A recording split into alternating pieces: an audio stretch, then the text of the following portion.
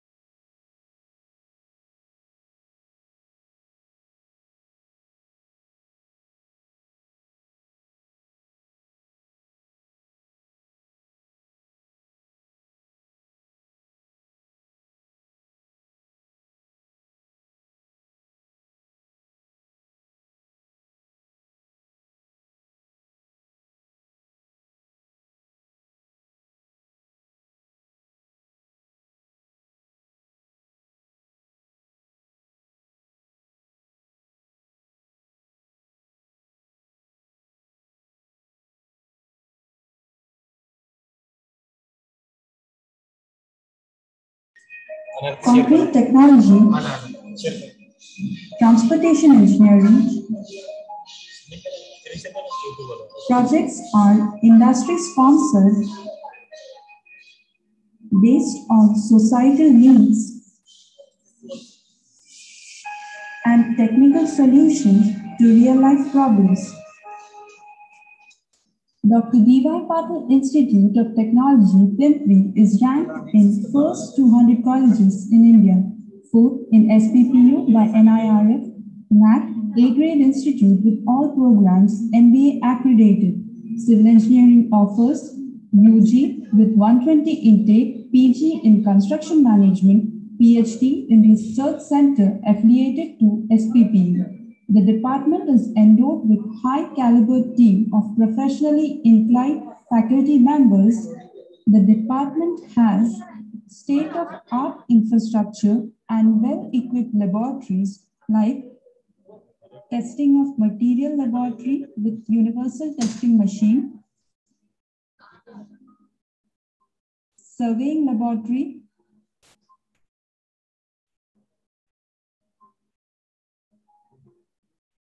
concrete technology laboratory, fluid mechanics laboratory, transportation engineering laboratory, environmental engineering laboratory,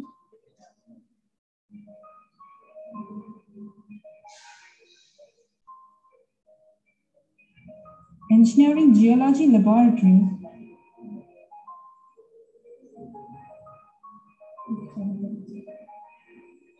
projects in the field of structural engineering, water resources, environmental engineering, concrete technology, transportation engineering. Projects are industry sponsored based on societal needs and technical solution to real life problems.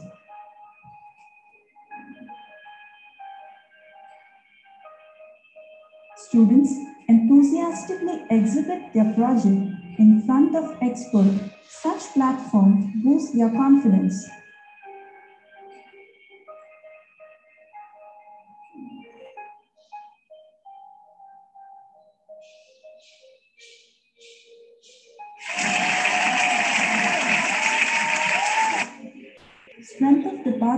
Is strong industry institute interaction, center of excellence by Dr. Fixit in the department.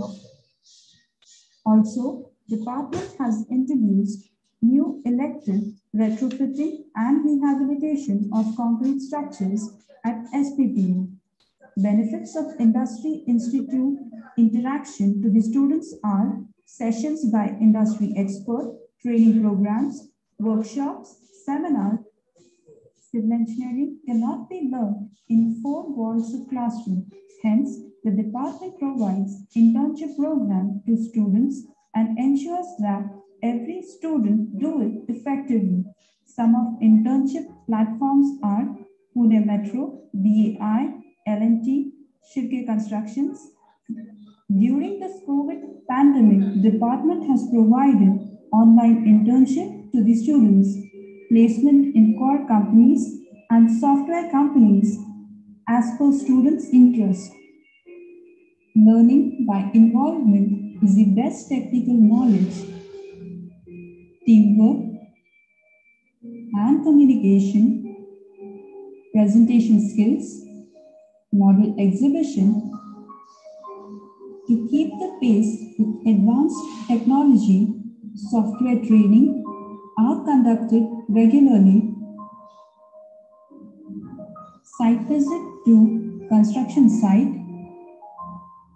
airports, water treatment plants, dams are conducted regularly. The department has established international student chapter with ASCE, Institute of Engineers India, CESA, Civil Engineering Student Association, Srishti, an Environmental and Social Awareness Club, Antaram, a cultural club,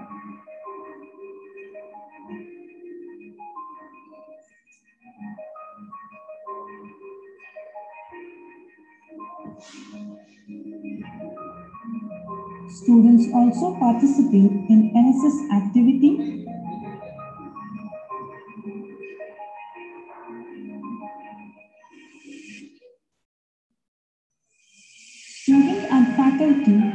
Proud by winning awards at international and national levels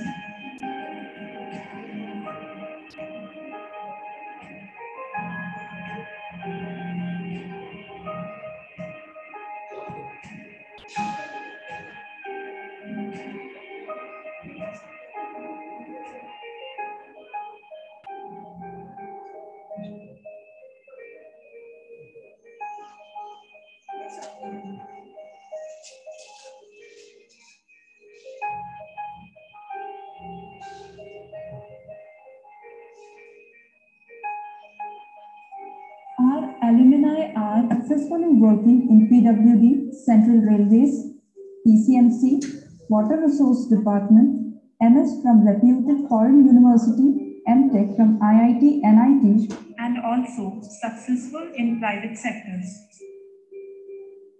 Civil Engineering at Dr. D.Y. Patil Institute of Technology, Pimpri, a step towards excellence.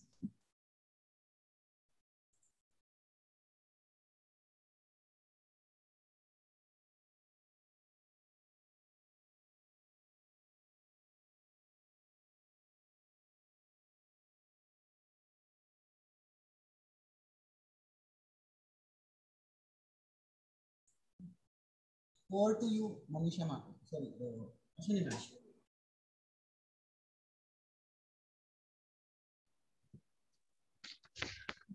Thank you, sir. Uh, faculty vitality has been defined as continuing process of revitalization and self-renewal that in turn fosters the attainment of personal and institutional goals. Enriching faculty vitality is key domain of teaching, assessing, research, professionalism, and administration in pursuit to improve educational environment. Faculty Development Program has been considered as standalone education pedagogy in fostering knowledge and professional skills of faculty. With this thought, I welcome all dear participants and our guest, Dr. Balaji Ramakrishnan, in the first session of Atal FDP on recent development in construction technology, addressing infrastructure and coastal engineering organized by Department of Civil Engineering, Dr. D.Y. Patil Institute of Technology, Pimpri. Welcome, sir. Now, good morning, sir. Uh, I welcome Dr. Balaji, sir. Our today's resource person, Dr. Balaji Ramakrishnan, sir. So we are audible?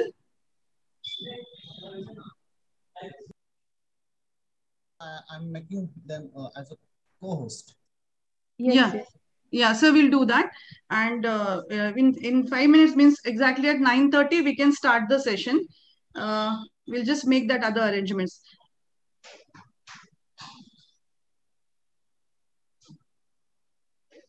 Yes, thank you, ma'am.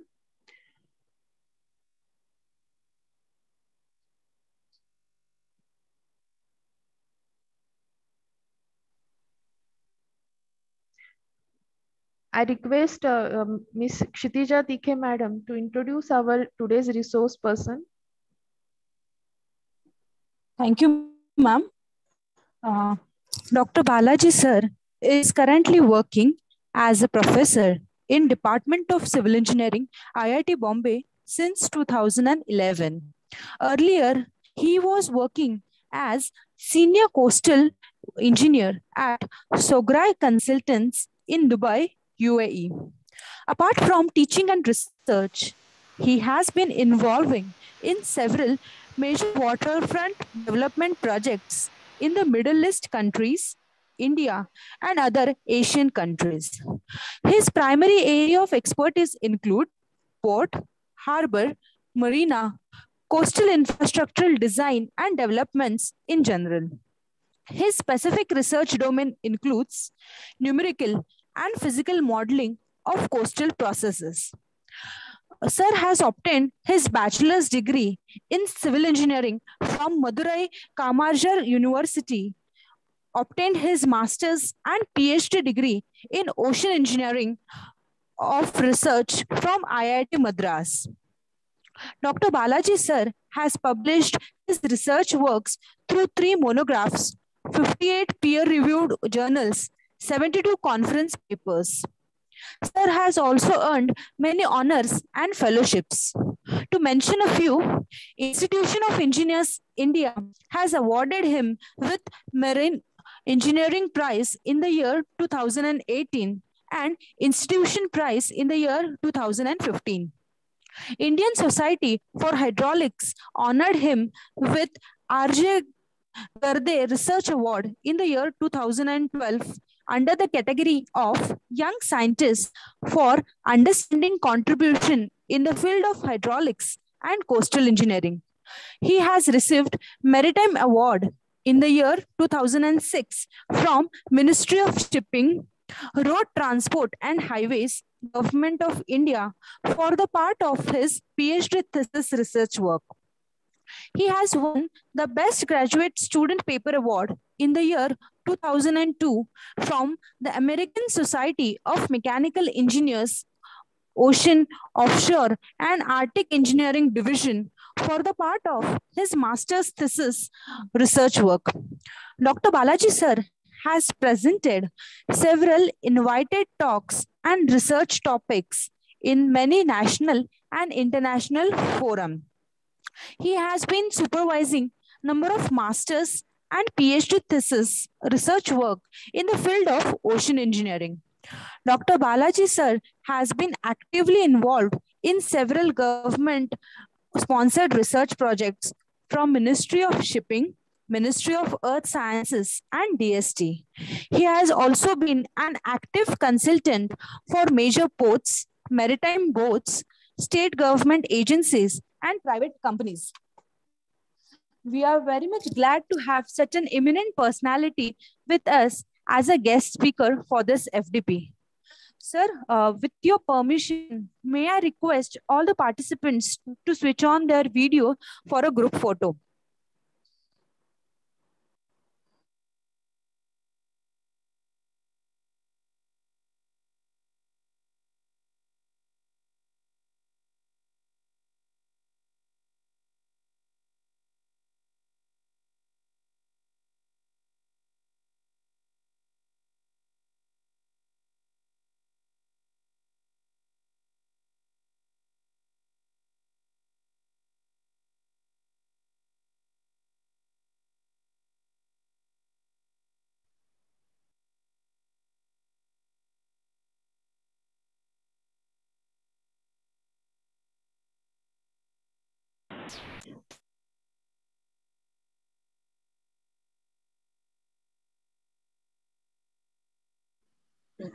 Uh, is it done, uh, Kshitija ma'am?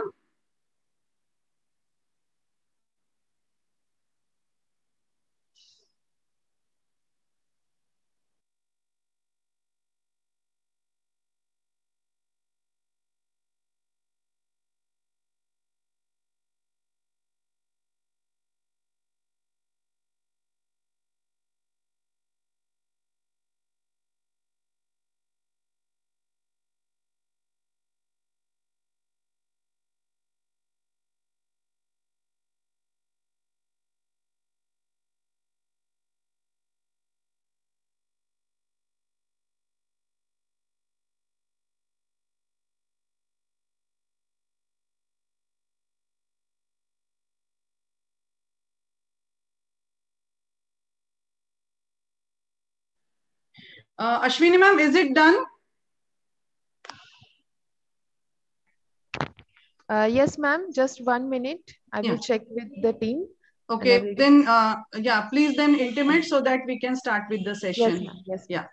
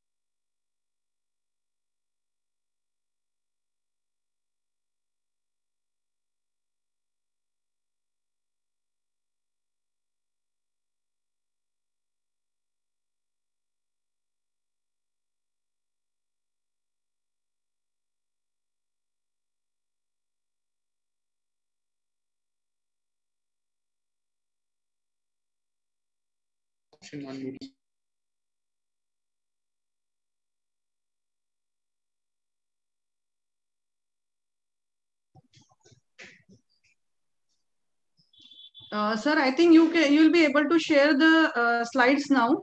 Uh, we can, uh, after in, uh, that, uh, you, we can check it out, Yes, uh, your ma'am. presentation. Uh, ma'am, uh, the group photo has been taken. Okay. Okay. Yes, uh, Yeah, we can thank start with our session. I request uh, Dr. Balaji Ramakrishnan, sir to start with the session. Sir, please. Uh, sir, your voice is not there. Please, uh, please check with the mic. uh, whether I am audible to everyone now. Yes, Yes, sir, yes. now it is. Yes, sir. So there is a small recap. We have been using several of the uh, online meeting platforms, uh, Zoom, you know, Cisco, Webex, and so on. So each one of them they pick the mic differently. Right, sir. Uh, I'm extremely happy to be here uh, to speak uh, in this forum as an inaugural talk. And I'm also thankful to Dr. Deepa Joshi and uh, her team, entire team of the DY Patil Institute of Technology. Uh, I think they have planned it like at least uh, more than three, four months ago, or maybe even much, much beyond that. Actually, I remember uh, beginning of this year, they started making the programs. Uh, they started contacting at least uh, you know all the resource persons, and I at that point of time I told them that you know it is uh, in August. Why are you actually doing this well ahead of time? And it is too far uh, from now to even to commit make any commitment. But then it's really wonderful that you know they have been uh, following it up very nicely uh, all throughout all these months and I'm really happy to see and maybe participants, in active participants actually in this forum. Right. Again, I am thanking everybody, uh, those who are actually behind this entire uh, program organization, number one, and I'm also uh, welcoming all the participants. You know, most like, this is actually a faculty development program, right? Um, yes. All of them yes, are. Sir. All right. Faculty and uh, even from industry uh, participants are there. Interesting, very interesting. So yeah, this is advantage actually. Speaking uh, the gathering of uh, uh, the knowledge, uh, you know, uh, wisdom people. You know, it's easy for us to communicate. You know what really wanted to talk to them. You know, students, of course, they are different category altogether. You know, you have to speak in their language. You have to get down a bit and then speak in their language. All that fantastic. All of. So without making uh, much of time, I would like to start the presentation. Um, when I uh, was asked actually by Dr. Deepa over the phone uh, the beginning, uh, title about uh, your talk and all that, then I told them that let me give glimpses of what we do at IIT Bombay because we have a virtual division called Western Indian National upper own. Uh, rather than talking about a specific project or specific um, research work that we do. I just wanted to give flavor of what we do. Maybe you can uh, gauge or guess, or maybe if you really wanted to continue in that particular direction, you can contact us, or you can also do on your own from your own respective institution. So that's the idea of today's presentation. So in case if you feel that it is like a garam masala, like you know, there are several flavors and several spices added in that, uh, but Sir did not actually speak anything uh, deep about any particular subject. please apologize to me because I'm going to give uh, the full flavor, like a, you know, uh, uh, a big Hyderabad biryani. So with that short note, I would like to start the presentation. I may likely to skip a few slides here and there. please bear with me because it's, it's a very generic presentation. So I would like to. I'm, I'm, I'm, I'm sure that you are able to see my screen right now, right? Yes, yeah, yeah, yeah. So that's the title slide. And I also go to the overview of that uh, before we go to the presentation mode. Uh, I will give quick glimpses of uh, neither the institute nor the department because it is all known to you and you can also browse a lot of information from the website. But uh, very briefly about me and my background and about ocean engineering at IIT Bombay and what are the facilities that we have developed in the past one decade of time or plus of course indeed. So what are the uh, successful research projects and you know ongoing research projects? I'll try to touch upon, but um, since the time is really limited here, I would just briefly touch all of these. Uh, maybe we'll spend time a uh, more wherever you know we feel appropriate, and time to time we also end you know interact with industry. I'll try to touch upon that as well. Uh, I wish you know you keep most of the time your microphone you know, in the silent mode so that it will not actually disturb us. And second thing, I also request you to follow the ethics of uh, you know, the online meeting. Uh, let's keep the questions towards the end, unless otherwise you feel that this is something immediately has to be addressed by the speaker like me, then you can you know, just raise your hand or maybe I think there must be some way that. Gita would have worked out, you know, in this between. And also this meeting is going to be slightly curtailed in between due to the ASAT's uh, inaugural session as well. Okay, so if uh, it is really required, we can have further session, uh, extended session uh, beyond the matter. And moreover, you know, I'm not very sure whether I'll be able to finish the 30 slides in the two hours of time because each and every slide uh, that we have spent at least uh, minimum a year or two, you know, just, just to, to bring that one slide. No, it is not difficult to make a slide, but it is difficult to bring the information to the slide. Okay. So we have worked a lot uh, in the past 10 uh, plus years of time, and uh, you know each slide speaks the volume. Probably when I explain, you'll understand. And each of these slides are actually have uh, contributed contributions from my own students and staff and my collaborators, you know, colleagues. There are so many others who also have contributed a lot into these slides. So this means that you know it is not just only Professor Balaji who has done all of this work alone. So I also want to take uh, that very uh. Uh, sir, just sorry to interrupt. Uh, your voice is little low. Uh, kindly, uh, yeah. Yeah, I'll try to keep the microphone as close Yeah. as possible to the. Uh. Yeah, that that will be. Yeah, thank you, thank you. And you are able to see the presentation mode now. Yes, sir. Okay. Now it is uh, in presentation mode. Yeah. So yeah, I uh, think they have mentioned about my education qualification and all that. I also have uh, you know fair amount of industrial exposure before I come to the academics, and also had some industrial exposure at IIT Madras as well. It's very interesting. In fact, Dr. Deepa has sent me the program schedule you know, a couple of days ago. I am very uh, happy to see those uh, who are uh, like my contemporaries, those who are my teachers, they are also part of this program. Very interesting. They are going to be talking to you uh, today afternoon and tomorrow and day after and so on. And my own colleague, uh, my mentor, Dev, is also going to speak to you. So it's very uh, interesting program. In fact, you know, I would really love to attend the whole of this program, but you know, time may not be allowing me to do so. If you look at my own research interests, uh, this is what I classify myself. I spent, um, and I am also spending, in fact, 30 to 40 percentage of my time in understanding the fundamentals, you know, the basics, uh, basic physics or basic dynamics. Uh, again, relevant only to the coastal engineering, uh, very specifically, not uh, in general. Very specifically, you know, I spent a lot of time in understanding the basics of coastal engineering. And I also spent quite an amount of time in the applied uh, coastal engineering, you know, applied science. The reason may be because that, you know, I have got, you know, industrial exposure. I've been working with the industry, I mean, the real world problem. So that motivated a lot to me to spend more time in solving the uh, real world problem, uh, you know, 75, nearly 60 to 70 percent of the time. Okay. So of course, I will I'll uh, discuss about in detail about all of those, uh, you know, the uh, branches of the, the applied and the basic tree in, in the, the later stage. So very quick nutshell about our division at IIT Bombay, and we are actually a virtual division uh, within the Department of Civil Engineering, and we are not a separate department as a whole like IIT Madras or IIT Kharagpur, whereas we are part of the, Department of Civil Engineering.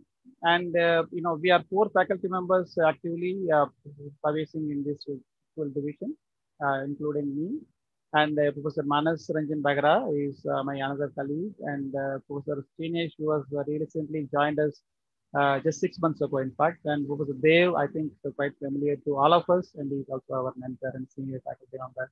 Continue to help us in the teaching and research activities as part of our teaching.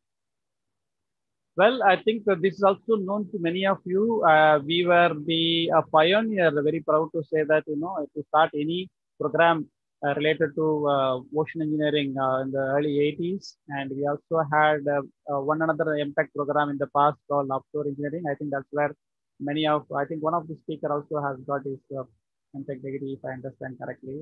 And we have revamped the whole program after I joined in 2011 uh, as MTech ocean engineering to give a more generic feel or appeal to the program. And then it is successfully now running uh, since 2013. So all four of us together, we actually cover a wide range of research expertise uh, area, uh, starting from uh, design of uh, marine coastal structures, understanding the dynamics through the modeling and both numerical as well as physical. And also we are uh, very keen in working in the extreme events and their effects. We collaborate a lot with the uh, the institutions, academic institutions within the country, like I'm speaking to you right now, and uh, you know uh, we also have a large number of collaborative uh, initiatives with the universities of other countries, USA, UK, and so on. I specifically have a very strong tie-up with uh, Scotland, uh, University of Edinburgh, and uh, time to time we also work with you know all the research institutions of our country, National Institute of Oceanography, Ocean Technology, and the list goes long Uh, of course, this is this is basically when whenever there is a requirement of such you know hand holding or hand shaking uh, you know, requirement, we do of course.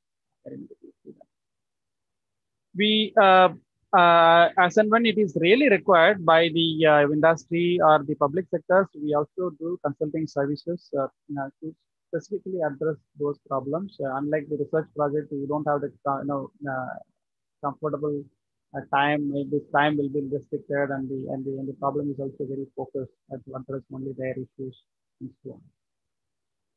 After I joined, we have actually um, set up a wave uh, tank uh, in our uh, hydraulics laboratory. And this was in 2013. I think you must be knowing Professor Dev, who is about to break the coconut to inaugurate this facility in 2013. And Professor Eldho and others were actually working with it. And I was the one who took this picture, so you can't see me there. So yeah, this this facility, uh, of course, is like 50 meter long um, compared to the facility that I have enjoyed during my master's and PhD time at IIT Madras. This is really small and also very uh, simple facility, I would say. But to begin with, you know, we we have uh, started building this, and it is 50 meter long, one meter by one meter cross section. And nonetheless, uh, there are some uh, speciality, or I would say some uniqueness of this facility compared to the facilities located elsewhere. It could be like NIT, Calicut, or Surathkal, or it could even be IIT Kharagpur and so on. But this uh, computer controlled wave making system, which is actually fitted on one side of the wave paddle is tank is completely customized by us. Okay, so though it is procured from uh, the overseas company, but then this has been completely customized a lot by us that it can even generate the waves that cannot be even generated in other test facilities in our country. So of course, we do have publications based on that. We do have a very good experience and uh, PhD students have passed out of that and so on. So, so there are some uniqueness, of course, of this facility as well. So uh, uh, just to add uh, value to those uh, facility testing facility, we started procuring number of uh, laboratory equipment. some are basic and some are little research oriented. for example, wave gauges and pressure sensors. We also have a one-dimensional laser Doppler velocity meter acquired through project funding and uh, acoustic Doppler velocity meter, which can actually give a volume of uh, you know uh, velocity measurement and so on. And currently, we are developing one another wave tank. If you see in this pictorial you know view, uh, the tank on the right hand side is basically the one that we have already built and using it, and the one that is actually little elevated and painted in green color is the one that I am going to talk about right now. It's basically a wave current flume. Uh, again, we are thinking of bringing some uniqueness, you know, so that it will be standing, uh, you know, very good uh, facility for our research students. And in addition to that, uh, as a special case, we really wanted to have indigenously designed wave making system for the new upcoming uh, wave tank. This is going to be including procuring the motor, writing the program to control the, you know, wave paddle displacements, and all of that are going to be completely in house.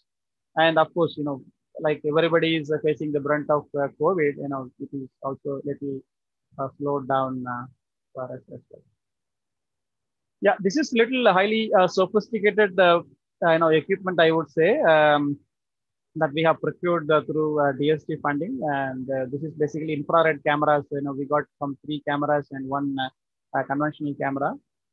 the the advantage of this particular instrumentation system is that you can measure any uh, displacement or for that matter all the six degrees of freedom motion you know those who are working in mechanics and fluid you know uh, floating body dynamics will understand what i'm trying to uh, speak. Uh, the, all the six degrees of freedom motion can be captured i mean any any object that is you know actually floating or it is actually moving without making any physical contact to that uh, object or the body basically. So uh, this is a little expensive and we have procured and we also have successfully tested and some of our own students and staff have got some kind of a training from the uh, Swedish company and it is commissioned in 2019 nearly end but then again COVID picked up so we are yet to utilize the fullest potential of the uh, facility. Yeah. Apart from the uh, uh, off-the-shelf ready-made equipment, we also use uh, a non-conventional measurement system of our own. Uh, it is not actually following any standard protocol, but you know we established the protocol of our own. In fact, uh, the images that you have seen in the previous couple of slides are actually procured, you know, you basically buy it from the supplier, you know, potential supplier. You give specifications and then you buy it from the supplier. But some of the research work, you know, I also motivate the young minds. Uh, why don't you crack something new? Let us establish our own measurement system and things like that. So the one that you are seeing on the screen at the moment is basically a game uh, box. Or, uh, I, am not sure how many of you have seen this before. Uh, Microsoft Xbox. Xbox is meant, the black uh, picture that is shown in the middle of the slide today is basically meant to play games, uh, computer games or animated games. Okay. So you just have to keep this Xbox behind your back and there will be a television in front of you. And uh, just by simply moving your hand, uh, you know, like that, just like that, you know, you can play cricket or you can play tennis or you can even play baseball on the other side on the screen as an animated version of your uh, hand movement and you know your body movement as well. So all of this will be captured by combination of infrared as well as the conventional monochromatic camera. Both are fitted in a particular angle in this Xbox. This is purely meant for playing games. Okay, so we thought, you know, why don't we use this for engineering um, studies? So I actually got a very interesting intern from uh, uh, Solapur, one of uh, the uh, young engineer. Uh, he was actually doing summer internship with me he's just you know 18 year old or 19 year old kid and i asked him can you do this exploit this whole thing i know how to explain this what is the requirement but you may have to crack you know how to use that you know fullest potential and things like that so he came down i said like why can't sir so he i gave him a task of actually understanding how a submerged breakwater that is actually shown here on the uh, uh, left top uh, corner of the slide that a submerged uh, rubble mound breakwater, if it's actually subjected to some kind of a, a storm condition, uh, waves of actually you know larger magnitude and also continuously battering the uh, seawall, then we wanted to know the profile after the the cyclone pass. Uh, six hours or 12 hours, whatever that in prototype. And in our laboratory, it will be something like equivalent to one hour or two hours of continuous wave attack on this profile. Then uh, to measure the exact profile or movement of the individual small rocks, it is going to be really tough. You know, I think it is not uh, really possible to make any physical contact to measure how it was originally oriented and how it is actually moved out and all that are actually extremely difficult to do. But with this uh, Xbox, we have cracked the jinx and, you know, we have actually nicely captured the change in the entire profile and just not as the individual stones, but the entire contour of the profile contour before, contour after of the entire uh, submerged breakwater profile has been nicely captured by this Xbox. So this is this is one just you know example of how we slightly go and out of box thinking uh, is actually bringing some fruits, nice you know research fruits out of the efforts. Yeah, we have done that a few times in fact, and we are uh, really successful uh, all of those times. So this is actually another customized proximity sensor, which is useful to measure the uh, heave displacement of a particular uh, floating body. Well, uh, many of our own students, you know, they like to do uh, uh, so some uh, some experiments because we have got some facility. this is actually some glimpses of how our students have actually spent their time in experimenting their models and get some useful data. Yeah some other students you know they are um, not so lazy but you know they are not actually interested in going and wetting their hands or maybe uh, sweating out and interacting with others. They just wanted to sit in front of the computer and do their entire research work. So for those of uh, you know uh, who we suggest them okay do some kind of a numerical equivalent uh, of the experiment but of course you have to validate that every time uh, yeah, if you don't mind, uh, somebody can uh, mute. Uh,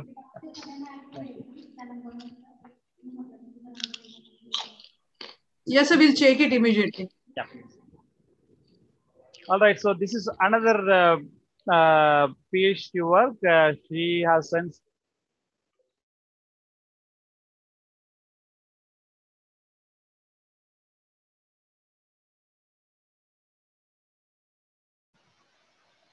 Thank you. So, so uh, this is another uh, PhD student's work, and it is eventually uh, led to an Indian patent actually. So, I just wanted to spend some time here to explaining, you know, what we have basically done here. So, we have actually coined and conceptualized the concept called the dual purpose wave energy caisson. Uh, for the simple reason is that though we do have a, a good amount of wave power spread uh, across the Indian east and west coastline, they are no way you know near uh, to the kind of wave power that the uh, northern latitude countries have, like you know European countries or UK, northern part of UK. So we obviously naturally not so gifted in tropical waters. I mean in the mid latitudes. Uh, so we cannot really help that. I think this is natural gift. Um, so I, within the short, or sorry, within the small uh, amount of wave power that is available along the Indian coastline, they also vary in season. You know, for example, during monsoon, we get good amount of wave power along the uh, west coast, and uh, rest of the year, you know, they are very normal. I mean, uh, you you may not be able to uh, extract a lot of electricity from these powers we also have learned the lesson in little hard way uh, through one of our own uh, pilot scale that the only one pilot scale that was installed in India long ago. So keeping that in mind, you know, we have come up with a concept called uh, the uh, dual, ener dual uh, energy. oh, sorry, what is this? Ah, yeah, yeah. So this is the conceptual schematic of what we have proposed, and this has already been filed a successful patent, Indian patent. So uh, this is basically a perspective of the uh, chambered breakwater. You know, the breakwater uh, has got some kind of a perforated front wall and it has got an impermeable wall. So this can act like a perfect breakwater for any new project or any protection of coastline and so on. So once the waves they come in, uh, they also get partially trapped within the chamber, the chamber uh, between impermeable wall and porous wall. They are going to not, they are not going to be completely trapped because this is still porous wall. So re-reflected waves can always pass out of the porous wall and back into the ocean always. But then when you adjust the size of the chamber uh, to match with every, every basin has some kind of a natural frequency. So when you actually try to match the natural frequency of this chamber, uh, nearly with respect to the uh, design wave, incoming wave, then probably we can create some kind of a quasi-resonance condition inside the harbor, I mean inside the chamber. Okay.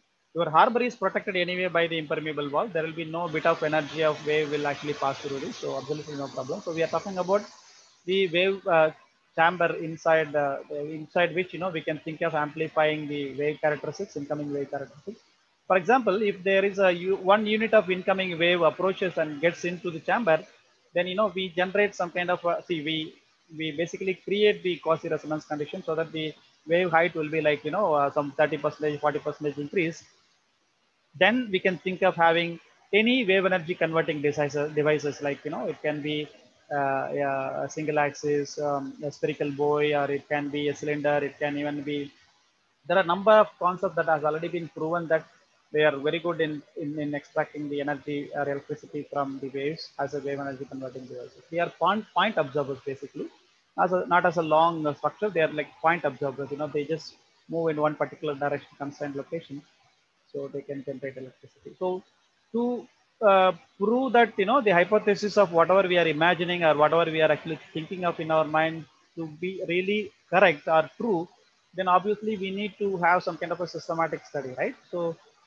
we begin with uh, I know individual wave energy converting devices alone tested in our laboratory and we have got the energy equivalent to that i mean the electricity generation equivalent to that in our hand then we place the inside this chamber uh, again this has also been tested uh, you know inside the uh, in the same wave tank and then we try to compare you know whether they are going to give us some kind of enhanced wave energy and we are very successful in that sense. So there are many publications. If you are really interested in knowing more about this particular work, you can always uh, write to Dr. Deepa or to me. You know, we'll be happy to share those research publications as well. But then the measurement uh, is little uh, challenging. Of course, we need to have some kind of um, specialized, uh, you know, uh, the vertical movement alone being actually allowed for the spherical wave to go and up and down. So we again have got some kind of a convention, non-conventional uh, measurement system of outcomes.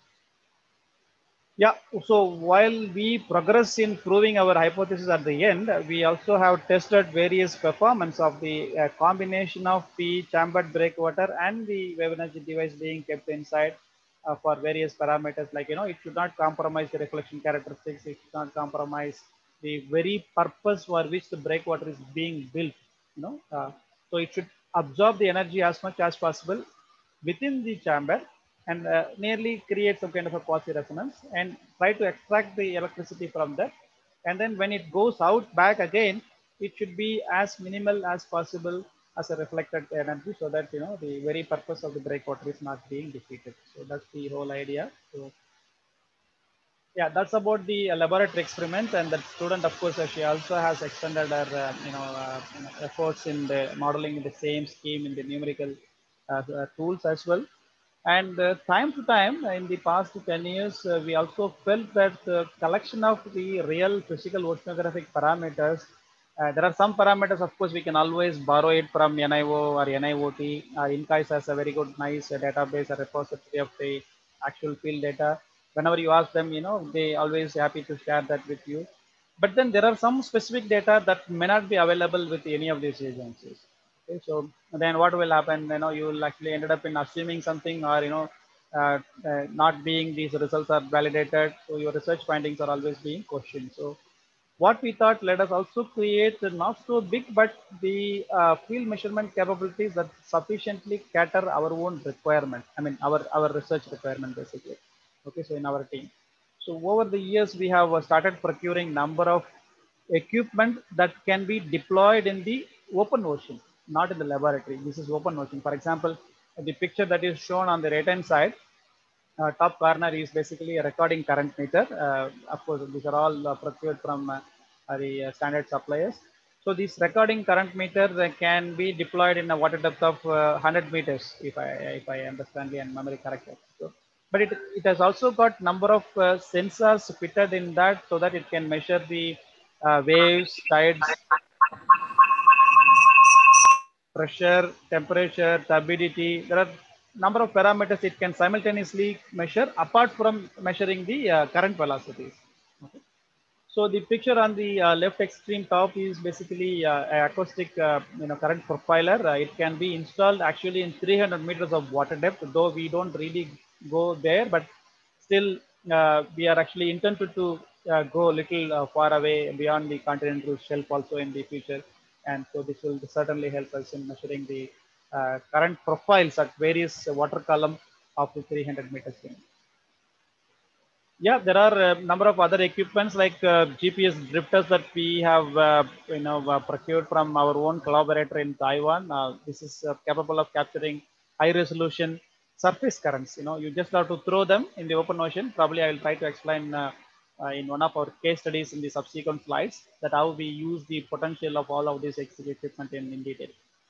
We also have a, a very nice miniature wave buoy again, uh, you know, in collaboration with our uh, Taiwan counterpart, and uh, we have developed this.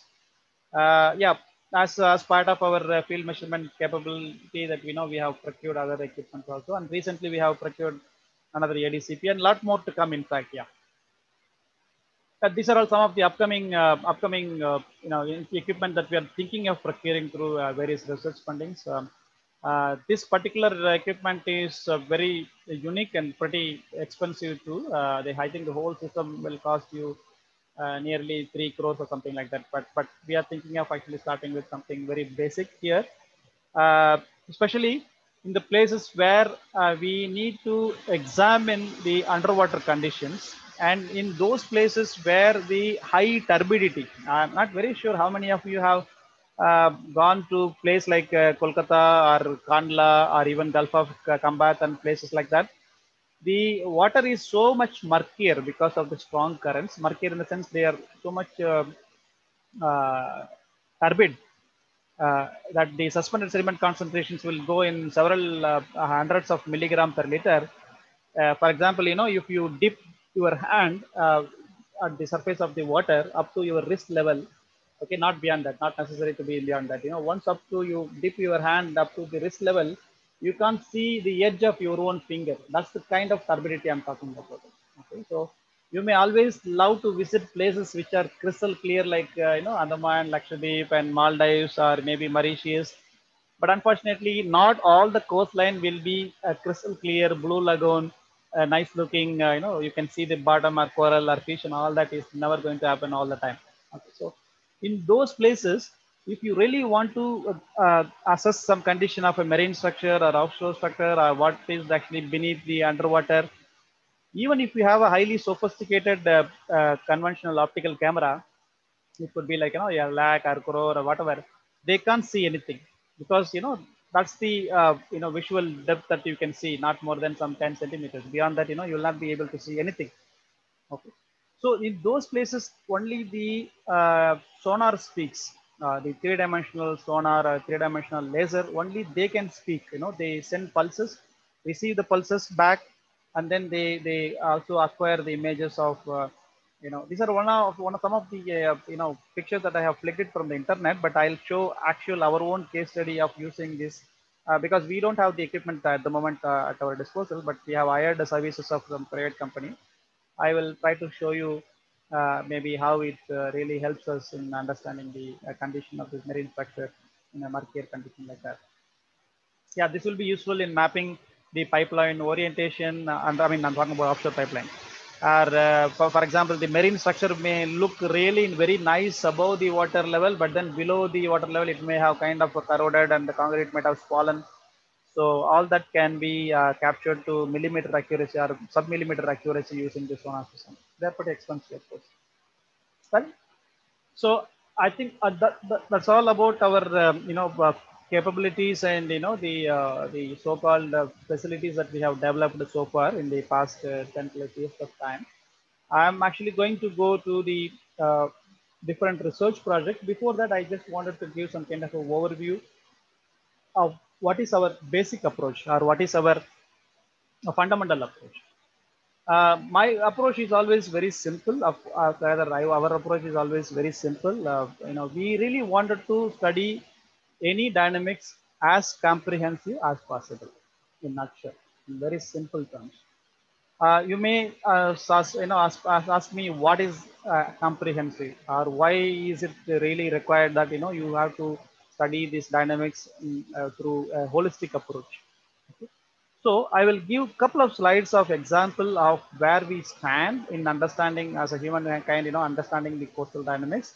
And then you will naturally tell me at the end of third slide from here that uh, yes, sir, actually whatever you said is correct that, you know, it basically require a holistic understanding, not just a random one or two uh, things that, you know, you pick it up from, uh, pick it up from is, is either based on your expertise or based on what is basically required.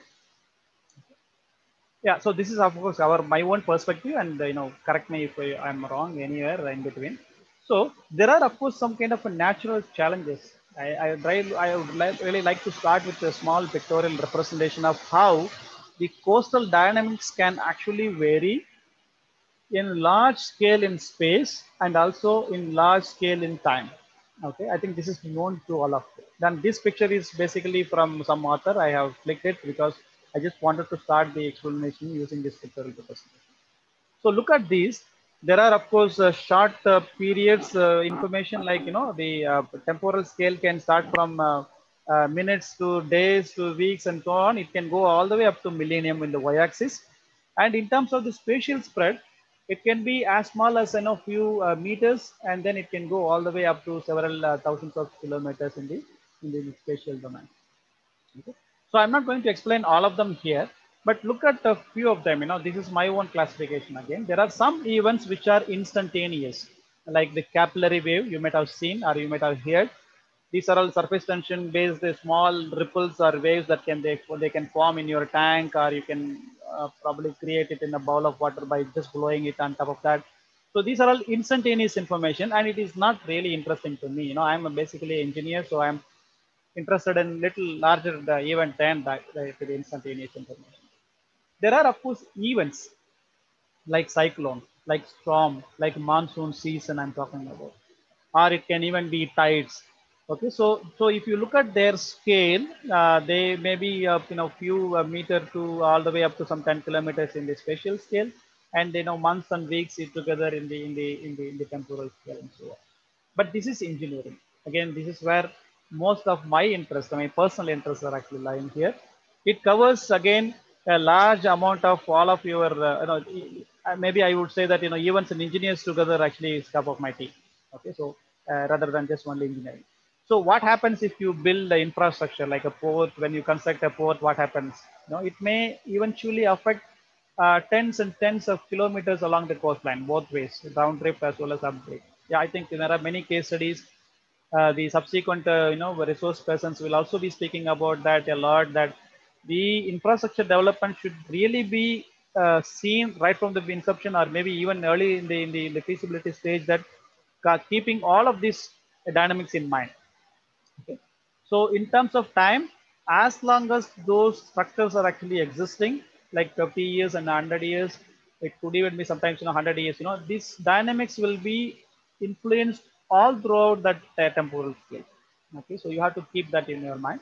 And there are, of course, a very long uh, time scale and you know very large scale. I think people who are working in climate studies, they may uh, think about this. And certainly, this is not my cup of tea. Okay, so I'm not a climate science uh, you know faculty here, but maybe they are interested in how, uh, in the long term, how it really evolves. Whether they are evolving naturally or they are evolved by or influenced by the anthropogenic uh, you know situations or climate climatic condition of the other regions for example if you have a if you have an interest in the arabian sea but then it may be influenced by some effect actually happening in pacific and you know or it may be due to the global ocean circulations and so on so but i'm not uh, actually so much interested in understanding that there is also a specific reason why i uh, emphasize the holistic approach is that the dynamics are very complex even if you are a civil engineer, not necessary to be a coastal engineer, I'll tell you the, the uh, dynamics of the waves are different, dynamics of the tides are different. And if they are meeting the, uh, the natural river water system or, you know, land-based water system like estuaries and creeks, then the dynamics is quite complex in those locations. Okay, so all of this is going to certainly influence your understanding of the coastal dynamics for sure. And we are talking about only the hydrodynamics. I mean, there is a sediment involvement then the morphodynamics is also going to be quite complex. There are places where you expect erosion, there may be a deposition.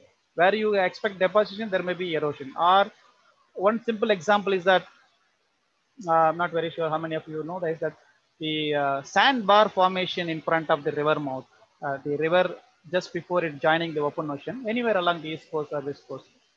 There are classical examples of river mouths along the Orissa coastline and classical examples of actually in West Bengal examples is in Andhra Pradesh, beautiful examples in Kerala. The river mouth and the sand spit formation or bar formation is every time unique. You can't come to a conclusion that next year, immediately after the monsoon, the sand bar will be this shape, this size is going to be here. No. There are studies done by our own scientists elsewhere in you know other research institutions that they are uh, actually uh, face this challenge, they fail to crack in you know how to really predict this sand formation, uh, sandbar formation. I'm talking about one single river. If you analyze the 40 years of satellite data, each and every year there will be unique formation. It's really hard, extremely difficult.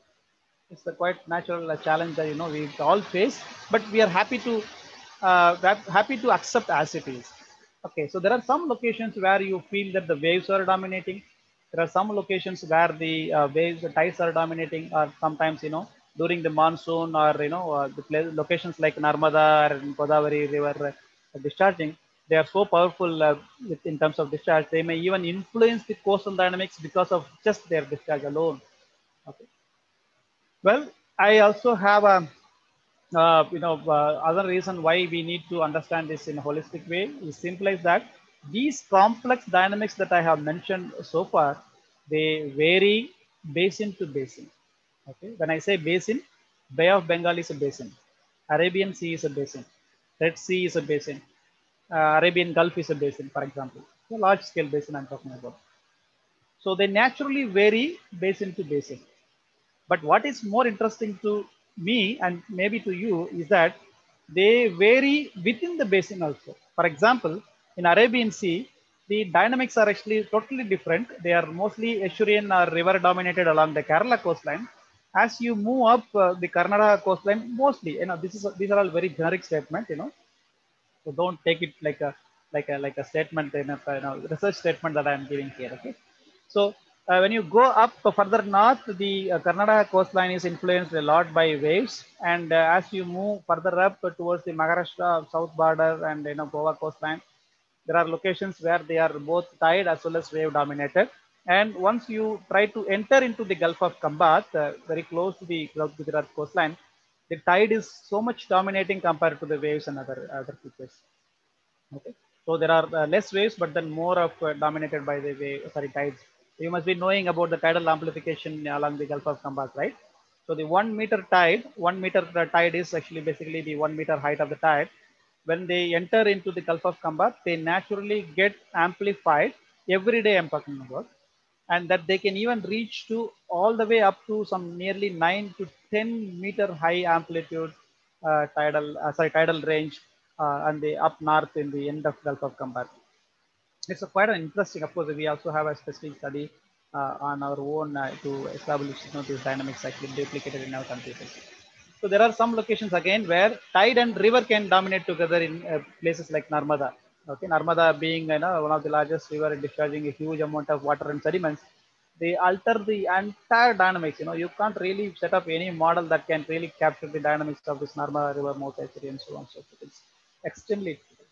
Of course, it's challenging. I mean, I don't want to say that it is difficult, but basically the nature has posed a challenge, and we really love to uh, uh, uh, reach out actually as much as possible. Well, so any uh, infrastructure that you develop in, in these regions, you know, uh, dominated by various uh, physical oceanographic parameters, then you should really be cautious that whether it is going to influence the dynamics in the vicinity. So you need to obviously have some kind of a, a predictions of the futuristic scenario, forecasting of the scenario, which obviously requires some kind of a specialized approach. So unless you have a comprehensive understanding of this region, either in terms of temporal scale or in the in the, in the spatial scale, I'm sure that you know we will fail to capture the the effect of the, any infrastructure development that is proposed. Yeah. So uh, yeah, again, uh, you know, just you know, to make this whole presentation as a complete uh, package, I just put only one slide of theory. Otherwise, all of them are going to be pure practical relevance. so just understand, uh, just to understand, you know, again, what are the challenges that we face in terms of the computation modeling. The previous slide that I tried to explain to you is purely based on the natural challenge that is posed to us, all of us. You know, it doesn't really matter whether, you know, you are working uh, as a researcher in UK, Europe, or America, or, you know, Africa, but these are all natural challenges. Okay. But similar challenges is also there uh, in terms of uh, capturing those dynamics into our computers. Okay. So I will just try to explain with one simple example, and it is uh, it's a uh, you know more more of a common uh, you know generic appeal, where we understand hydro as well as morphodynamics, which means you wanted to understand the hydrodynamics and and subsequently you wanted to know the sediment transport and the movement of the sediments subsequently due to the hydrodynamics. Okay, let's let's keep that in. But I think it's quite familiar to all of you uh, in this forum that the uh, waves, wind generated waves are actually transforming and then they coming very close to the coastline. So whenever you go to beach, you will be able to see the waves are breaking. So when there is a wave breaking and from that point towards you along the beach, towards you, I mean, where, where you're standing on the beach, the dynamics are yet to be understood. In spite of the fact that, you know, the coastal engineering science has actually have gradually advanced over the past more than uh, at least uh, 100 years, but still the dynamics within this zone is yet to be completely understood. You may be surprised, you know, so, you know, uh, you know, with so much of experience, I'm telling you, we are yet to crack many of these dynamics, completely blank to us, blank. All right, so let's capture that. It's actually a very simple uh, flowchart of how we usually set up our model in understanding the bed profile. You know, when you go to beach, you know, you stand on the and on the beach sand, right? So that's what I'm talking about the bed, seabed. So the seabed, how it changes, uh, it can be like you know wavy pattern or it can be ripple pattern, whatever. You know, it, it can basically be uh, in a different pattern depending upon the dynamics of that area. But how it actually being influenced if there is a monsoon season or how it is being influenced by a particular cyclone, which actually not more than uh, uh, 24 to uh, 72 hours, you know, it is going to last in that particular coastline. So let us keep even the small temporal information. Okay, that's one, one particular cyclone alone. Let's take that way. So due to one particular cyclone, how the profile of the bed of a particular beach, you know, it can be a beach in Ratnagiri or a beach in Goa, or maybe, may you know, if you are living on the east coast, you know, a beach along the Chennai or Vizag or wherever. Okay. So there are of course waves and currents. This we are supposed to estimate in your numerical model. I'm not actually going to give you all the details of the equations and all that, but I'll of course show you some of this. Then you need to estimate the hydrodynamics first. And then you should also go down little bit depth that, you know, it should also be uh, giving the interaction between the, the, the uh, hydrodynamics, the kinematics of the water particle and the sediment particle, because these two are totally different. The sediment particles are actually simply lying down if there are no waves, it is not going to move. Okay. So, but now the kinematics are actually brought by the waves and they are going to be transferring that to the sediment layer. So it will be in suspension. Or if they are heavy, the particles of the sediments are actually heavy, they cannot be lifted by the wave kinematics, but they can be rolled, uh, at least pushed by the waves. So this can go as a bed load. Okay. So this bed load and suspended load, the moment you receive some kind of a kinematics, they are bound to move from their original location. I'm talking about not the entire beach, not the entire sand. I'm just talking about one few, one or few sands uh, particles I'm talking about. So eventually all of them contribute to the, uh, the bed evolution or the so-called morphological evolution. So, okay. So I'm sorry. I think these are some of the equations that I'll quickly pass through don't have to panic. There will be no question about these equations and all the you know the component of these equations. Absolutely no uh, keep cool and no don't panic. Okay. So in order to understand for you to get the evolution of the bed, uh, change in the uh, bed evolution, uh, Z or Z value is basically Z value is basically what um, uh, the depth of the seabed from with respect to some kind of reference level. Let us assume that way. So how it is changing with respect to time. So that is basically function of some kind of a morphological parameter. I will come back to that. But that is component, uh, that is actually function of both your suspended load, how much it is being lifted and transported far forever far further, or how much being pushed little away, uh, maybe uh, some one kilometer this way or one kilometer that way, or one kilometer towards the land, or one kilometer dragged by the waves towards the ocean. Whatever the direction, it can go in all four directions with respect to a beach that you are talking about. Okay. So it is a function of the suspended load and it is also a function of the bed load. If you keenly look at the equation which gives us how the suspended load and the, uh, the bed load will actually be mobilized in terms of their equilibrium, they are further function of the so-called currents. The currents are actually, I'm talking about combined currents.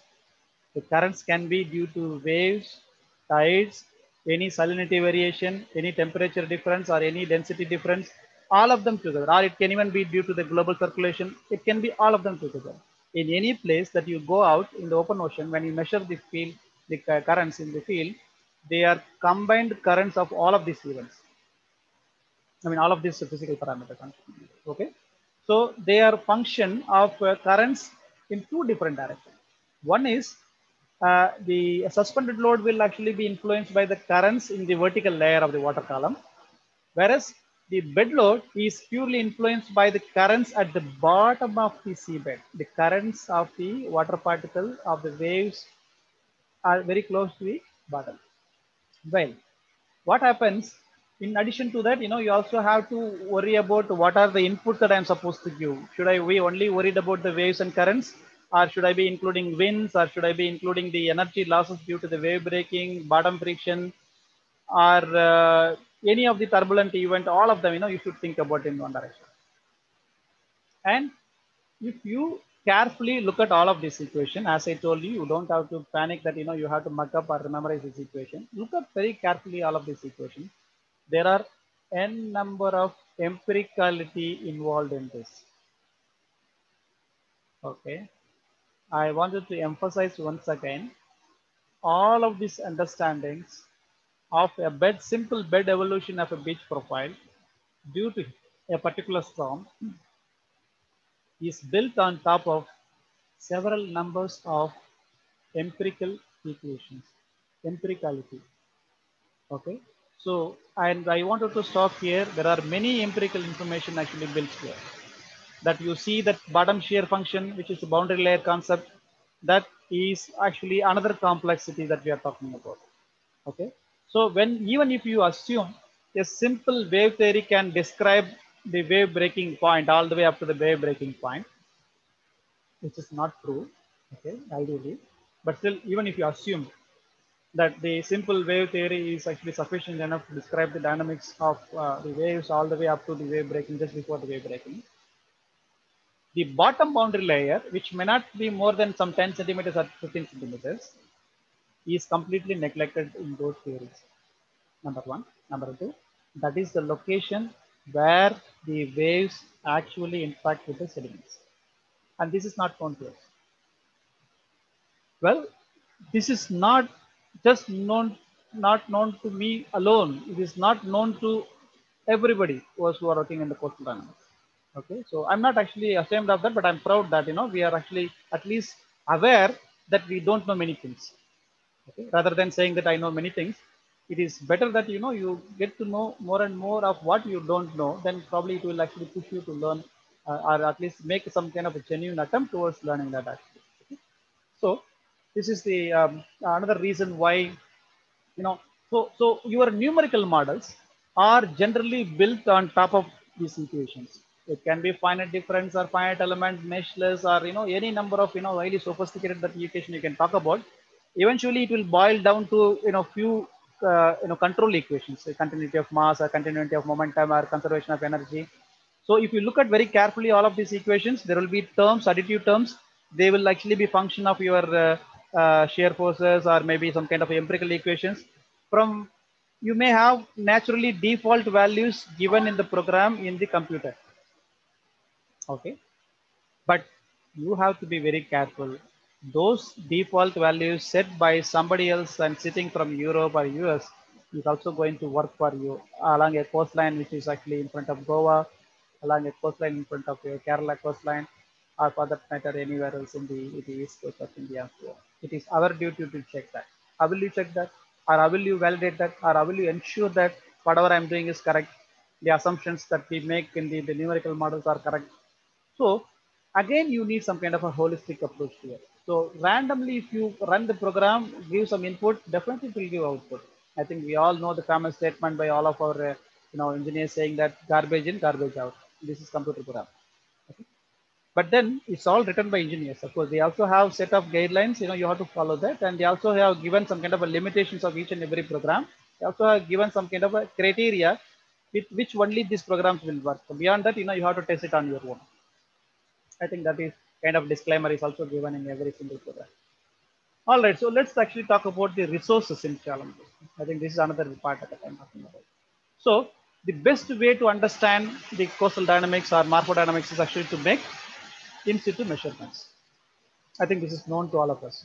Okay, so, how will you understand, sir, along a coastline? I'm proposing a port uh, now along the uh, you know uh, Goa coastline. How will I understand the effect?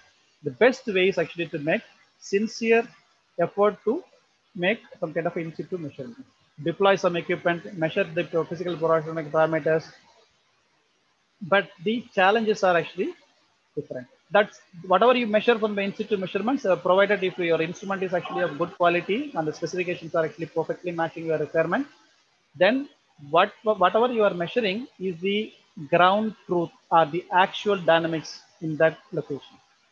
You have to be making sure that the equipment is really good and you may have to do yeah, the calibration of that instrument also before you deploy and make a measurement of waves or currents. Okay, this is another cautionary note I wanted to say. But how many locations you will install actually such kind of you know uh, equipment? They will be really expensive. You cannot actually buy some thousands of ADCP and deploy all along uh, you know, uh, Goa coastline or Maharashtra coastline. Even thousand may not be sufficient, you know, so it is very difficult. So in terms of uh, spatial uh, response, spatial representation of the measurement, you will fail to do so in in situ measurement. Even though it is comprehensive in situ measurement, you will fail to capture the dynamics in this spatial domain. Number one. Number two, temporal. How long you can keep the equipment under the water forever? Six months, one year, even one year also it is quite challenging because the marine growth will form on top of your uh, uh, ADCP sensors and after six months uh, whatever the data is collected will be zero values any parameter current parameter waves all of them will be completely zero in your excel spreadsheet after you retrieve the equipment from the underwater and then you You take out that you know memory chip that is inbuilt in that. So it cannot really uh, make uh, such kind of uh, you know long period uh, in temporal scale. Also, we have some kind of a practical uh, limitations. You know, we cannot actually go on. So you basically can't get long-term measurements, and any field measurement can't tell you how it is going to be uh, in the future if you have a if you have a if you have a you know uh, proposed scenario. Um, so that's another you know challenge that you know we have. Well, numerical model is a very good tool uh, which can uh, cover large uh, spatial domain. For example, you can model the entire Arabian Sea in one single program in your model, or maybe the entire Bay, Bay, Bay of Bengal. On the other hand, uh, you can also cover the uh, temporal scale uh, starting from days to years to even decades also. You know, you can run the program and then go for a cup of coffee, or maybe you can come after you know one week and the computer will keep calculating the information. Maybe it will give you at the end of uh, 10 days or one week or whatever it is, uh, a large temporal scale. That's another interesting uh, uh, advantage of the numerical model. So in numerical model, you can both go back in time and you can also go forward in time. Uh, both hindcasting and for, for forecasting is possible. I think this is known to all of us. Okay, so once you have the of program with you, then probably you know you can estimate back in the time and forecasting time also. That is not possible in Inkscape. Well, as I said before, very simple. These programs are actually having set of equations, number of unknown parameters, plenty of empiricality inbuilt. So you have to calibrate without which the results of the numerical model is of no use to anyone of us. Okay. So uh, of course, this can be used for prediction in case, you know, if you want to understand the effect of a port, uh, proposed port development along a coastline, probably you can set up a numerical model and introduce the uh, port layout and then try to understand what is the effect of that in the later stage and so on. Well, this is where we also have the powers of uh, remote sensing. I think I, I have uh, a number of case studies which are very successful uh, because the, from uh, satellite, you know, you can basically cover a large spatial area. Uh, you know, there are some cameras, you know, which are actually looking at the large scale area and you can capture the dynamics one side. And of course, these are all sensor based information. They capture only images. They don't capture dynamics as such. Okay. So from the images to the original oceanographic parameter or any engineering parameter that you want to derive, there are some algorithms that you have to follow. They are not straightforward information. Just by taking a picture, and you know, you cannot tell that you know the wave height is this much, you know, currents are this much. You cannot actually uh, blanketly say like that. So you need to write some kind of algorithm, and the, those algorithms will purely be based on the actual in situ measurements in the beginning. Okay, so these are all kind of interlocked. So your numerical model also need in situ, remote sensing also need in situ, but in situ cannot be actually long period and so on. So, so what I'm trying to tell you here is that there are advantages of each one of these resources I'm talking about. Okay, and there are limitations as well. So if you are actually sticking to one of these resources alone to understand the coastal dynamics, I, I would say that you know probably will fail to capture the information or will fail to capture the actual dynamics as well. And in addition to these listed resources, we also have analytical tools. We also have probabilistic tools. For example, sir, I have long-term data. Can I use just uh, simple uh, data-driven uh, techniques like ANN or you know genetic algorithms? You can always use. You know, you can also use probabilistic approach like, sir, actually I have long data. Can I, can I project it? It's up to you. If you are so confident, you do that. Go ahead. But then for all of this, you need some amount of information known to you already. So who will give, where will you get? These are all the questions that I'm talking about. In any particular project that you are talking about. It may be available generally somewhere else, you know. And there are some uh, you know scenarios or situations where we may also have to employ uh, physical modeling tools also. Uh, those dynamics which cannot be represented by these, you simply go to the lab, set up your own uh, you know model and then see whether you can mimic the real natural scenario and whether you can make some kind of measurements from there whether you can actually make some kind of a uh, judgment and so on so forth. so these are the background why most of our projects from next slide onwards that i'm going to explain will actually be as holistic as possible. Okay, so I am just making the you know the uh, preamble here that because of the natural challenge, because of the uh, the uh, resources and the numerical modeling challenges, we right from the beginning have gone through a concept of holistic approach. So every single research problem you try to address from various angles possible. So through our research experiences from the subsequent slides and the industrial experience, if time really permits us to do so, I will try to explain and what are our uh, expertise in the field of. Okay, so I'll have a sip of uh, water if you don't mind, all of you.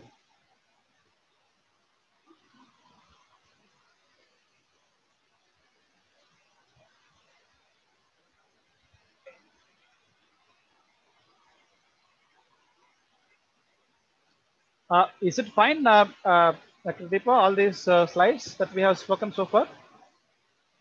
Anyone uh, from the organizing side?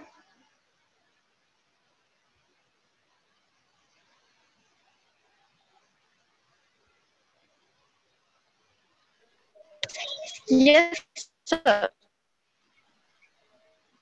Sushma, uh, I'm, I'm uh, really audible, right? And you have been listening to all of these slides. Otherwise, I will be speaking to the wall and uh, No, no, it's No, visible, sorry. visible Yeah, and you audible and uh, slides are also uh, clear. No issue, sir. Fantastic, fantastic. You know, I used to check that in my classroom because otherwise uh, I will be assuming that you know everything goes on fine, but I might have come out of the network at times. You know, so True, sir. True, true. I'll be speaking to the wall all the time. Yeah, so past one and a half years I've been speaking to the wall. Yeah, no students. Yeah, yeah. I Yeah, hope. yes. Fine. Let's go to the uh, next slide. So I will uh, uh, rather um, uh, walk you through some of our uh, successful research project that we have completed. Uh, again, like I said before, each slide, this particular slide now we have spent three solid years to bring this one slide. Okay. So I'm going to give only glimpses of what we have done. And through the pictorial representation, I have a natural tendency to, I mean, I have a uh, my own way of explaining things. So I usually use the pictures to explain the the importance of the research project as well. Well, uh, for the uh, uh, Maharashtra government, uh, state government, we have done a research project uh, thanks to their uh, generous funding that we are able to hire staff and you know set up some kind of infrastructure, computation infrastructure, and so on. The primary objective of this particular project that I'm going to highlight in this particular slide is that we wanted to capture the dispersion characteristics or this, the spatial and temporal spreading characteristics of any accidental oil spill off Mumbai coastline. Okay, so slightly off the offshore of Mumbai coastline. There is a very strong motivation or reason behind this because all the past accidents along India, all the major ones are actually happened in front of Mumbai coastline. Be, be, Mumbai being busy navigational route and major connecting two ports are actually located in our in our city. So it's quite natural that we expect a huge amount of vessel, I mean ship movements in and out of the ports. So it's also quite natural that you know there are accidents do happen, but during these accidents, uh, there are at least a couple of accidents that probably I can spell out. One is in 2009 and another one is 2010, if I remember correctly. These are all major accidents that really created environment havoc, okay, disasters. Then see one side, whom to blame, whom to be put in responsibility, and all that is one side. And the other side is how to mitigate, how to even uh, combat in case if there is an accident that has already happened, how to minimize the ecological and environmental damages to the existing situation. So this is another side. So let us not get into the first part, but we are more keen in addressing the second part. Okay. So in case if there is an accident, what will happen to those uh, spilled oil?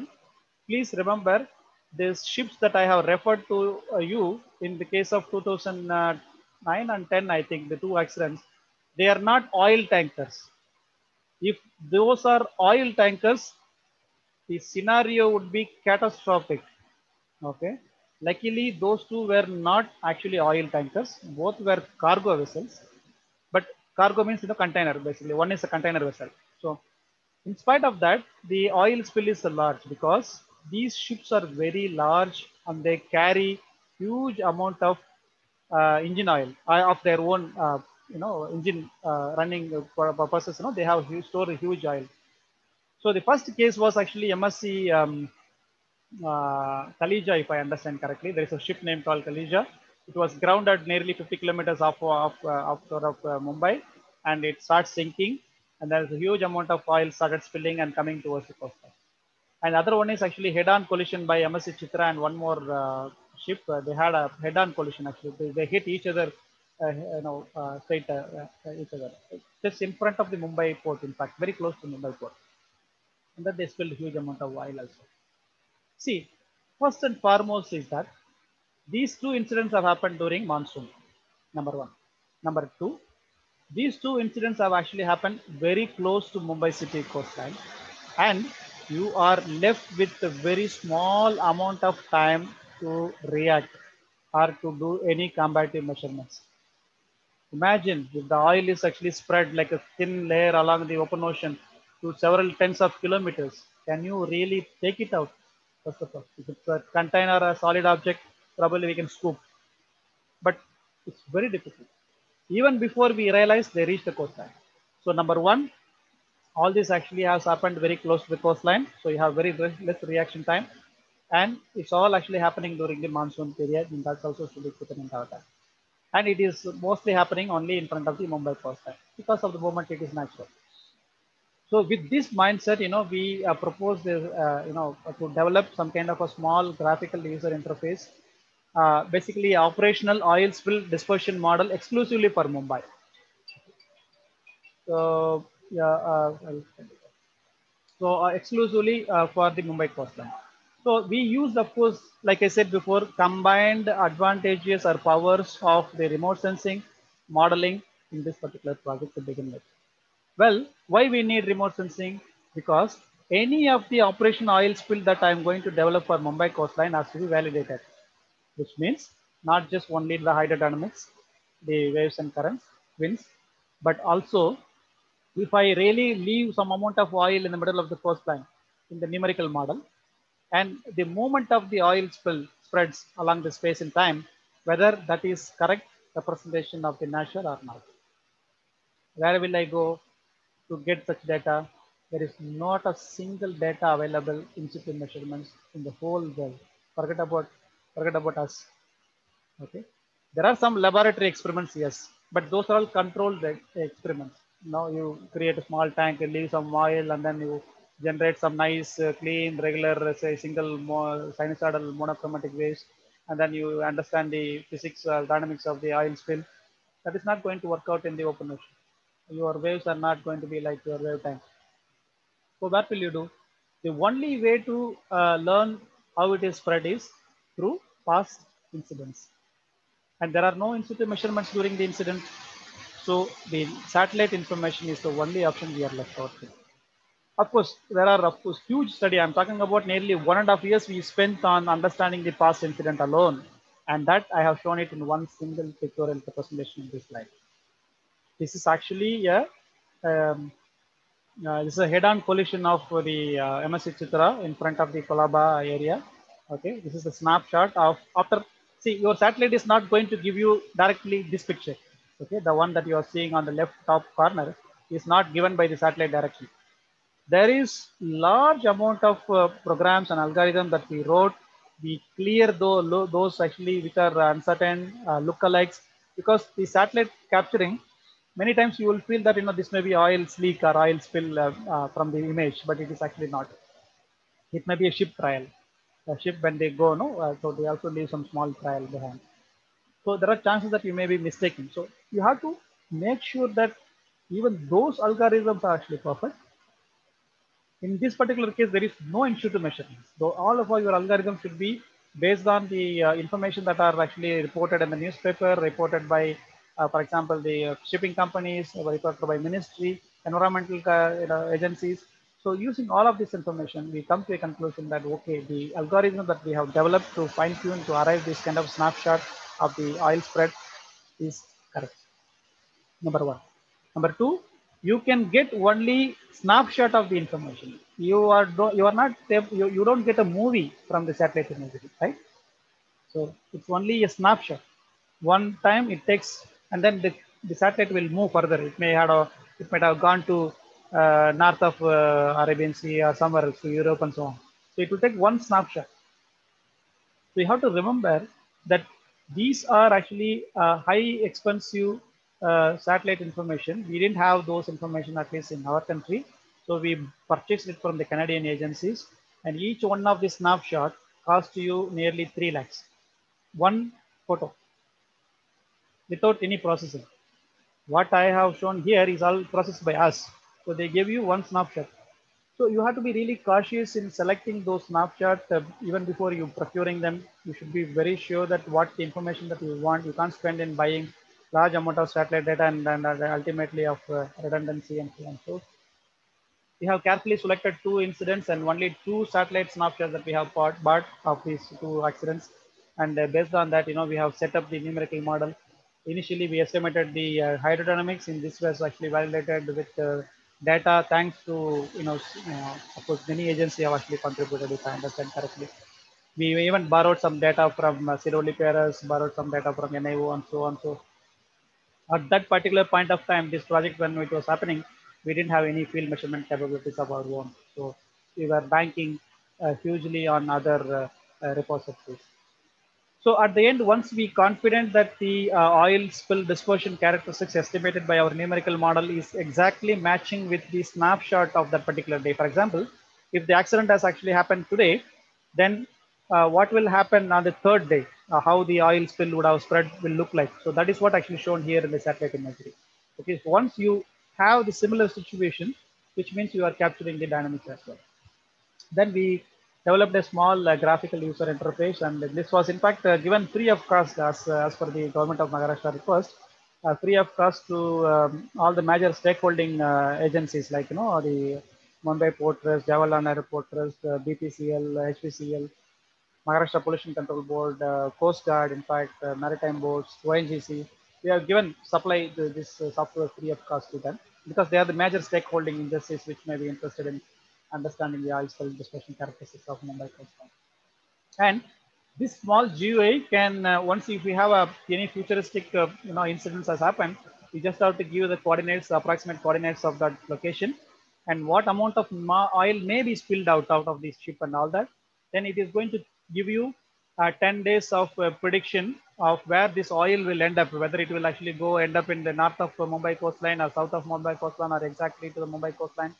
So all of this can be estimated in less than 30 minutes of time. So that is the reason why I was actually mentioning this as a operational oil spill management. So this can give us a, a very nice uh, advanced information about the spill oil.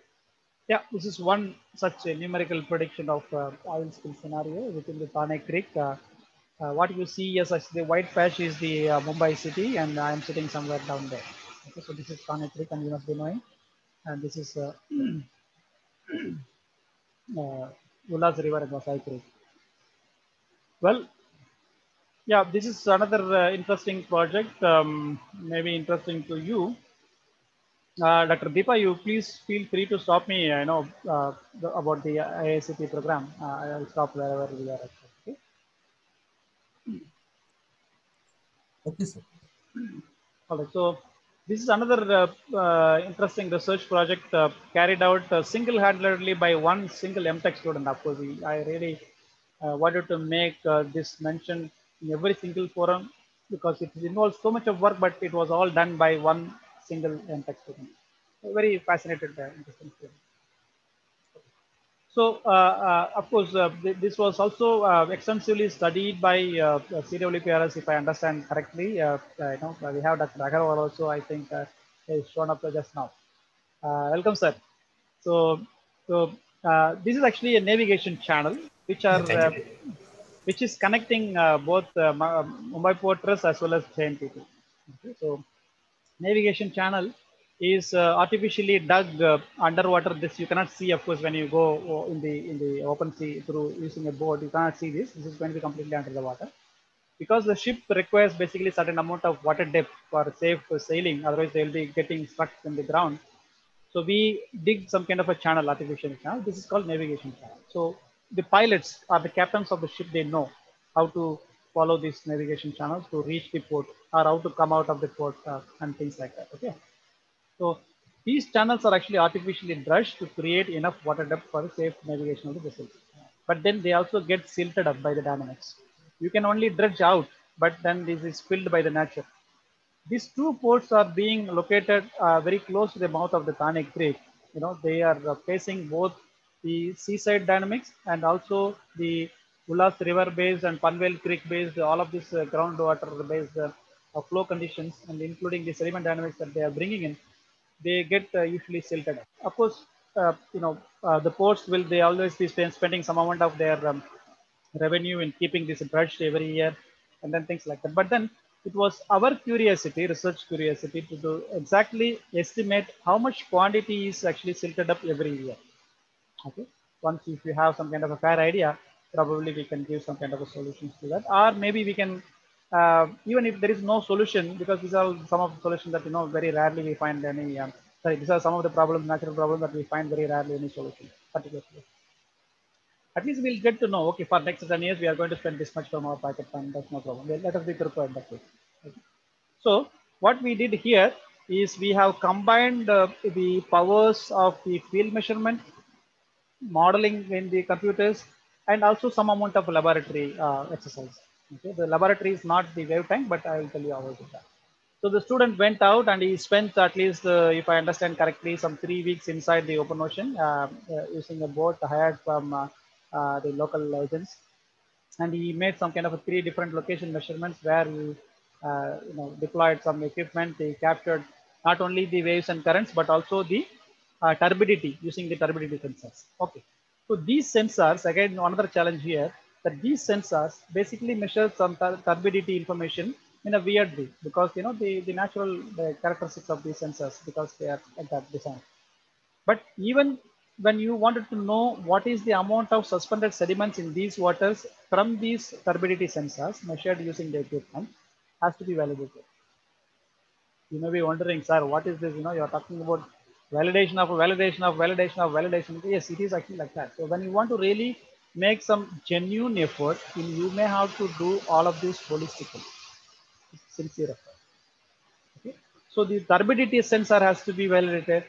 So what we do, we collect physically the water samples, undisturbed water samples at every one hour. And then those samples were actually brought to our laboratory. We filter them so that the sediments which are actually present in one unit, for example, or one liter of water, for example, and then there are actually there are some kind of a standard experimental methodology or procedure or protocol that we are supposed to follow. At the end of the day, after having spent so much of time, what we will get to know is basically what amount of sediment transport, sorry, uh, suspended sediment concentration is available in these waters. So many milligram per liter. It may be sometimes one single number, but that one single number to be obtained, you know, we have to really do all of these exercises. Only then you will feel that, yes, I'm confident enough to put that in my numerical model. So once you have those numbers with you, uh, spread across the different, uh, you know, uh, uh physical oceanographic conditions. Now we do, of course, systematic effort to uh, collect this information in different uh, physical oceanographic conditions. For example, high tide, low tide, or maybe spring tide, late tide. So I, I, I'm not actually explaining what are those keywords, but let us not worry about the jargons that I use here. Okay, basically different scenario or different uh, physical conditions of the open ocean. Well, we were very successful. I think our estimations were very close to uh, what was realized by the uh, surveys carried out by these two ports, JNPT and MbPT. Uh, and of course, you know, we also have the uh, publication based on this particular process. like I said before, we also spend quite an amount of, uh, at least some amount of time in understanding the fundamentals or the basics. Okay.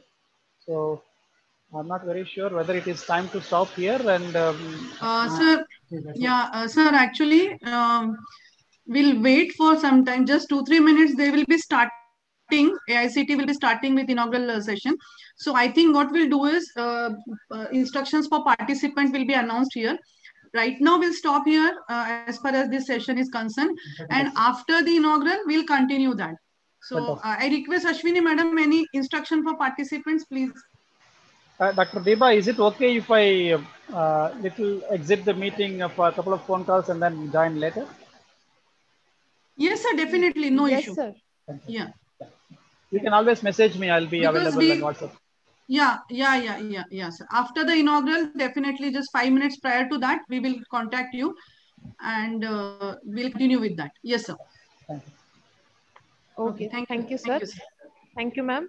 AICTE has organized inaugural ceremony of 39 Atal FDPs at 11 a.m. The chief guest uh, is Professor Nagarajan Ramamurthy, Director of IIM.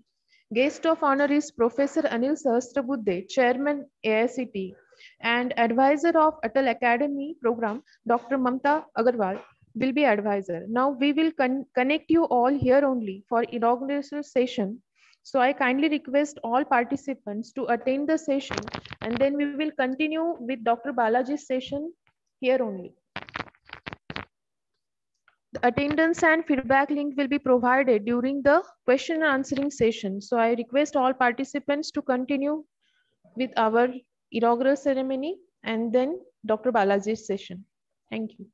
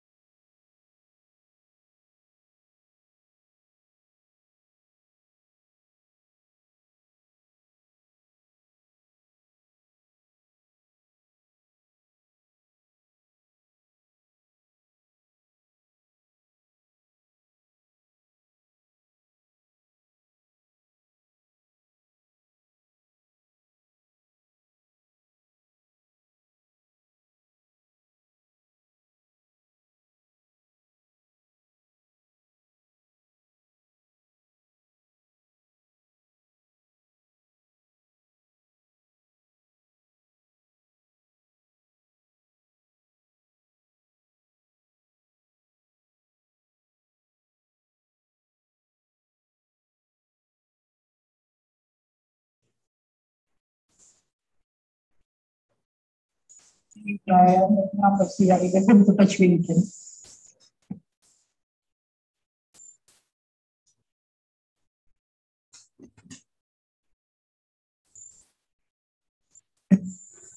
Ma'am, we will be joining in two minutes.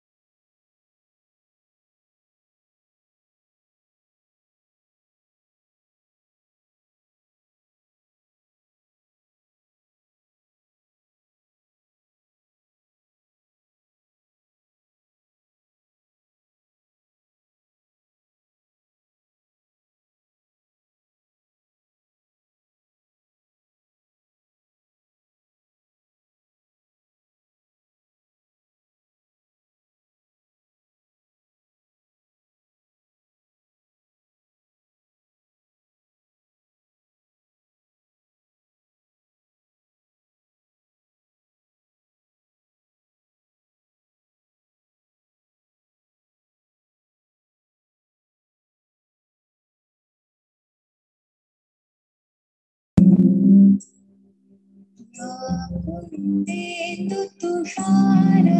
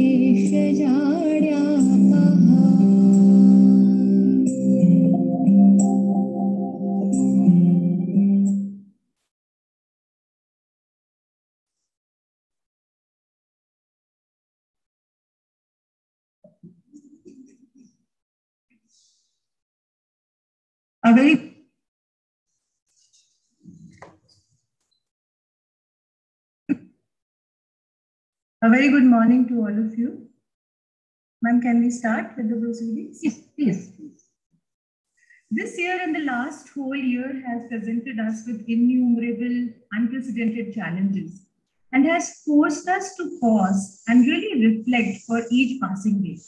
The very fact that even with these ill-posed challenges and impediments at every step, we are able to meet virtually and be a part of this grand initiative of AICTE Training and Learning Academy, uh, ATL as it is called, is really a blessing. So it's my privilege to welcome all of you on this occasion. I, Dr. Vartika, on behalf of IIM Amritsar, would like to express my heartfelt welcome to our chief guest, Director Professor IIM, Professor Nagarajan Ramamurthy, Director IIM Amritsar, our guest of honor, Chairman AICTE Professor Anil D. Sahasrabudhe, and Advisor Atal Academy, Dr. Mamta Rani Abhimanati. And I also welcome to the core team members of Atal Academy and IT staff members of Atal. I would also take this opportunity to extend my warm welcome to all the pro- program coordinators, technical staff members, and participants who have spared their time to be a part of this grand occasion. AICTE in its endeavor to encourage academic excellence in technical education has taken several strides, including impetus on the development of faculty teaching in colleges across the country. The AICTE Training and Learning Academy, one such initiative which has been conducting various activities in upgrading faculty's knowledge in trust and emerging areas, has scheduled to launch all online 39 such FDPs which are starting today.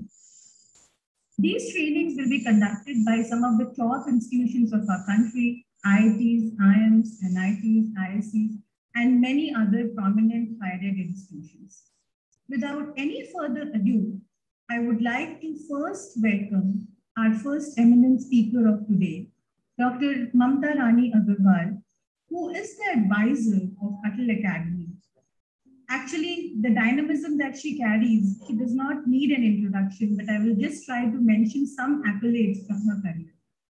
She is former Joint Secretary, UGC, Director, Education, New Delhi, and from the first batch of lady pilots in Indian Air. She has been international speaker at University of Columbia, Department of Public Policy and International Affairs. She has compiled and edited five volumes of reference books on the national education policy. Over to you, ma'am, for your welcome address. Am I audible? Yes, ma'am. A very good morning to all of you. Heartiest welcome to distinguished chief guest of the inaugural session, Professor Nagarajan Ramamurthy, Director IIM Amritsar, a very visionary and dynamic academic leader, our very own Professor Sahasrabudhe, visionary, very, very affectionate and our favorite, Honorable Chairman AICTE, Shukla sir, who is heading Indian Knowledge System at uh, AICTE, eminent friends from academia, our dear coordinators and lovely participants. It is indeed my privilege to address this August gathering on one of the most prominent and value addition scheme of AICTE, and that is faculty development. Atal, or we very, very fondly call it Atal, but it is actually AICTE Training and Learning Academy. I am reminded of few words of APJ Abdul Kalamji, our former president. Teaching is very noble profession that shapes the character, caliber, and future of an individual. If the people remember me, of course, he's talking about himself. If the people remember me as a good teacher, that will be the biggest honor for me. Trust me, the influence, the impact of a teacher, we don't know where does it stop.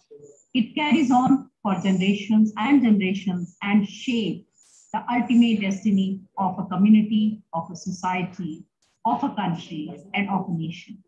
It simply emphasizes these powerful words of Kalamji, simply emphasizes the need for passionate, energized, motivated, and committed faculty members.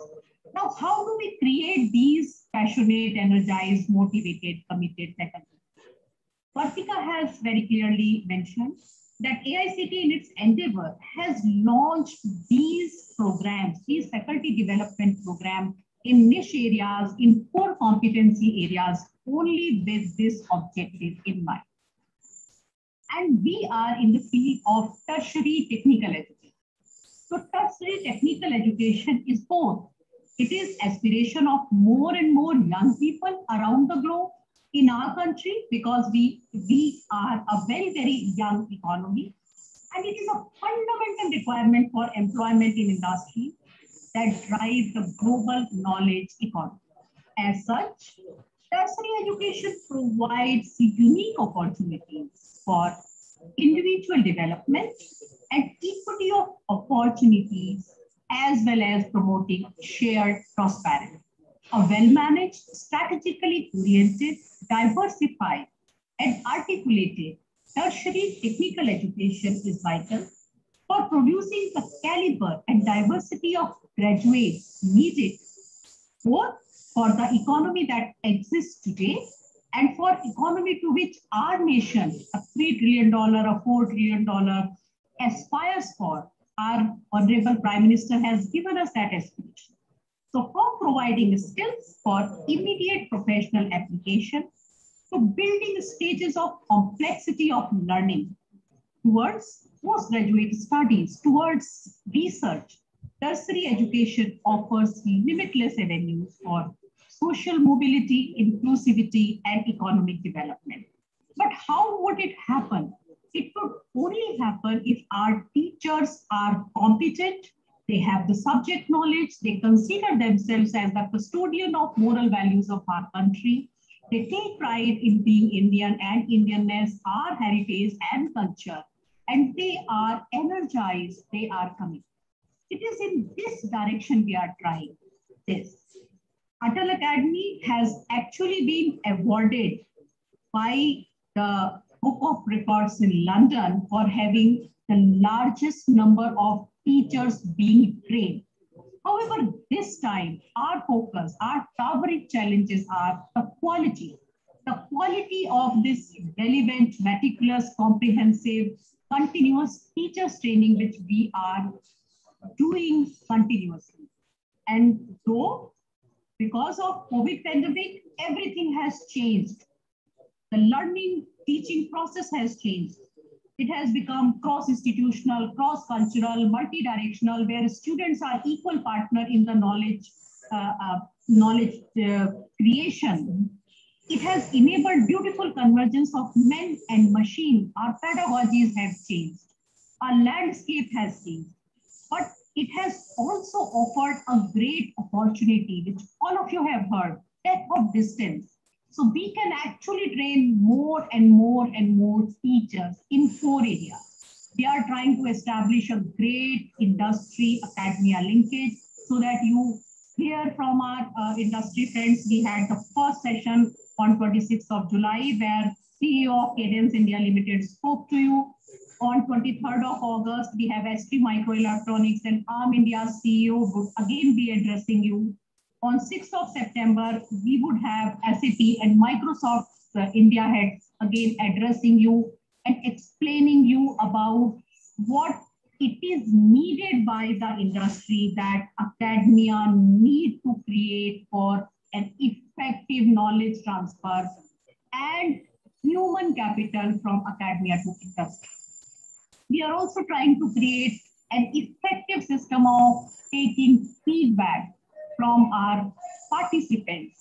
But the onus is on you coordinators. Unless you become our agents of change, unless you become our extension, our extended arm to provide these Atal Academy trainings with utmost dedication, with utmost commitment, with utmost sincerity, we would not be successful in our end, in this endeavor. At the end of it, we want that each and every teacher of ours, after these five days FDPs, when the person goes back, he feels much more confident, he feels much more competent in the core subject, he feels much more confident of effective delivery mechanism of the core subject and is able to transact the training in these niche areas, in these core areas, much more effective. My dear teachers, you are the one who can actually change the entire landscape. You are the pillars of quality education deliverance, custodians of our moral values, responsible to transform lives, young lives, into competent, cutting-edge humanitarian technocrats who encourage inclusivity, commemorate diversity, celebrate Indianness, our Indian ethos, and finally celebrate excellence. Thank you so very much for your time and coordinators. Once again, I request you to give your 100% for very effective faculty development training at All the very best. Thank you so much. Thanks a lot for those aspirational and inspirational words from your side, ma'am. Our next speaker, uh, do we have uh, Anil sir? I think, sir, he would join in a while. So meanwhile, we yeah, we can we will. Yeah, we will our honorable chief guest and our sir yes, yes, yes. This sir can most academically. Absolutely. Our next speaker and the chief guest for this occasion is our inspirational director, Professor Nagarajan Ramamurthy, who in the last two years of his term and full-time as full-time director of IIM Amritsar has taken the institute to newer heights. We really consider ourselves lucky to work under his tutelage. Dr. Nagarajan Ramamurthy received his PhD in Business Management from the Robert H. Smith School of Business, University of Maryland, and at College Park. Dr. Ramamurthy has taught a variety of courses in the management discipline at both undergraduate and graduate level. He spent a semester at the University of National and World Economy in Bulgaria as a Fulbright scholar in 2008 and was a recipient of the second Fulbright grant to teach and research at the University of Applied Sciences, Valmiera, Latvia. He has lectured at the Indian Institute of Management, Ahmedabad, the University of Applied Sciences in Australia, and many other prominent institutions of the world. He also received the university's Research and Scholarly Excellence Award in 2008, the Distinguished Service Award in 2009, and Best Reviewer Award for European Management Review awarded by the European Academy of Management. He has published his research in leading journals and presented his work in many known international conferences and has also been on the editorial boards of some of the top journals in the area of HR, strategy, and organizational behavior. So I now request Sir to please deliver his inaugural address. Uh, Professor Ramamurthy, I saw uh, Anil Sahasrabudhe joining. So since you are the chief guest, sir, you know, maybe take him for a few minutes if you allow. Uh, Professor Ramamurthy, can you hear me, sir? Yes, yes. Uh, Am I audible? Sure. Anil sir, Anil sir, can you speak for five minutes, sir? Sahasrabudhe, sir?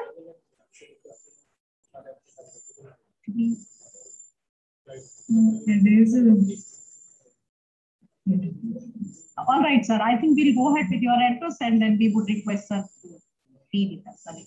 Thank you, sir. Kindly. Thank you.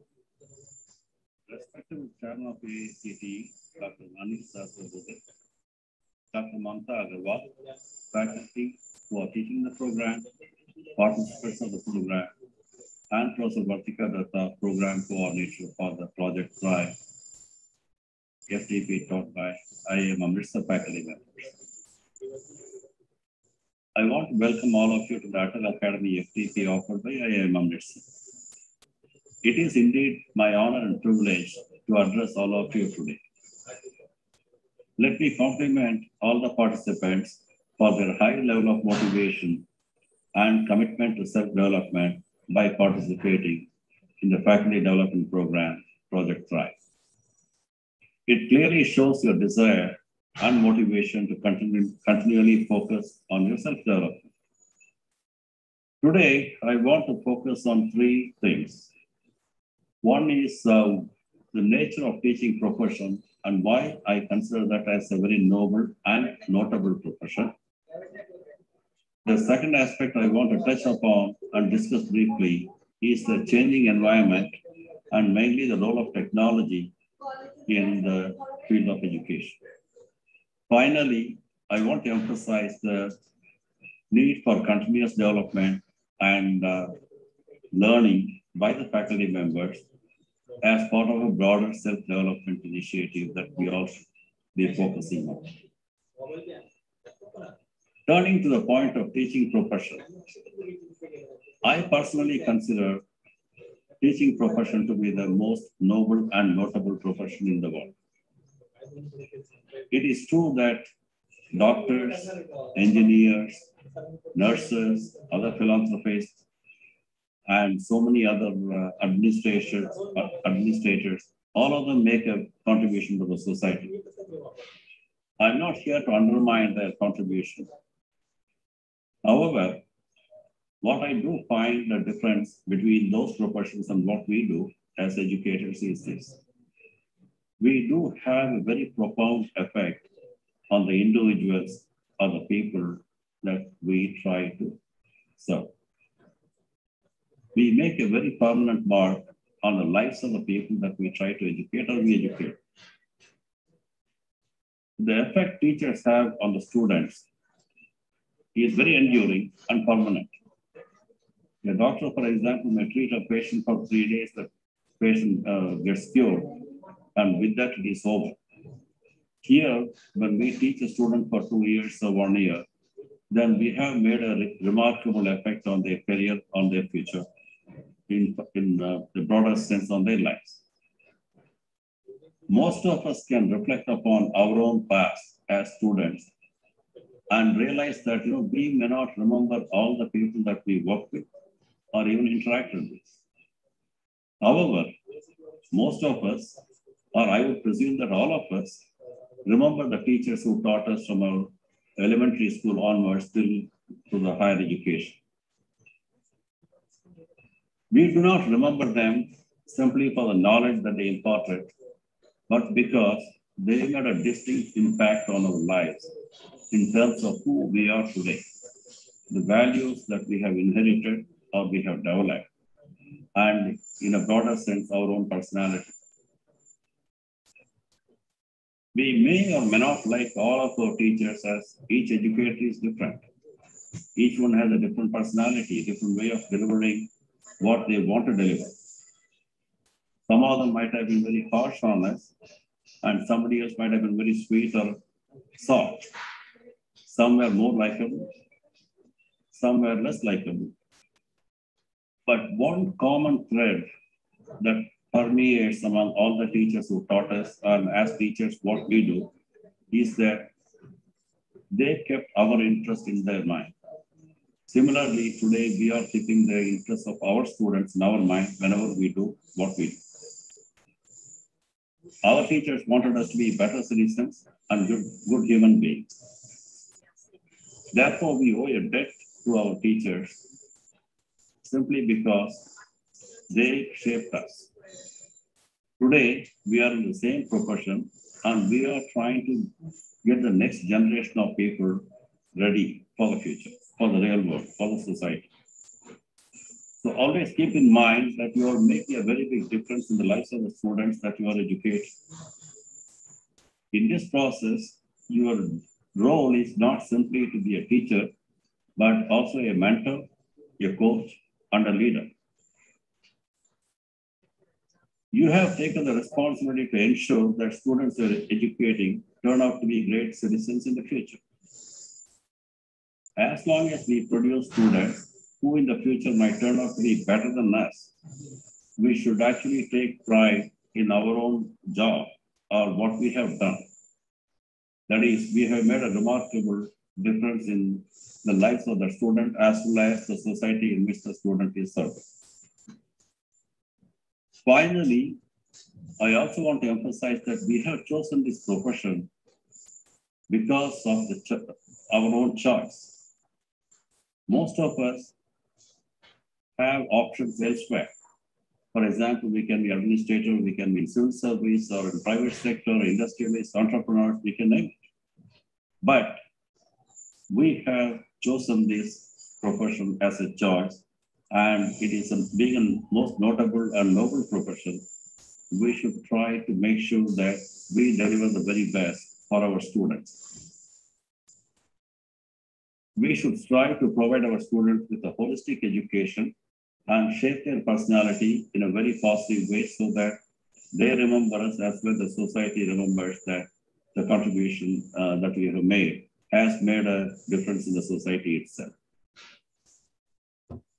Turning to the point of uh, the changing environment. In the past 30, 40 years, even 50 years, the education sector has changed considerably. What we teach, the concepts, principles, they have been relatively stable, although like content also changes over time. However, where the biggest difference has come is that as teachers, we have tools today that were not available several years ago for many people. One of the most important changes that I want to emphasize is the role of technology. The present generation of students are more tech savvy than the previous generations. In many cases, they're even more tech savvy than myself or ours, ourselves. They are more adept at using them and exploiting, exploiting the learning opportunities. Internet, various learning management systems, which are customizable, to individual learning styles and needs are available. Due to technology, we are able to reach out to the farthest parts of the world, regardless of where the students are residing or where the teachers are residing. Khan Academy, for example, has several courses available for students to learn.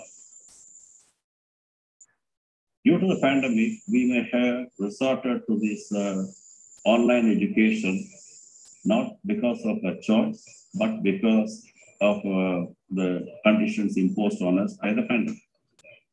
However, online education and blended education will eventually become the norm in future than an exception.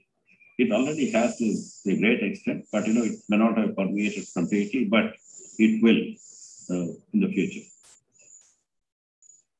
Do we consider these changes as a threat to our existence as teachers? Or do we consider these as opportunities to exploit? In one sense, I can say that we can use technology to help us become better teachers. We have to embrace technology in such a way that students can learn the concepts through various available means outside of the classroom. The next question is, what do we do in the classroom then? You know, if they can go to Khan Academy or do some, uh, watch some videos online. Here, we can actually focus on the value added part of education inside the classroom. Ask yourself, how can we make education more meaningful and engaging experience for the students?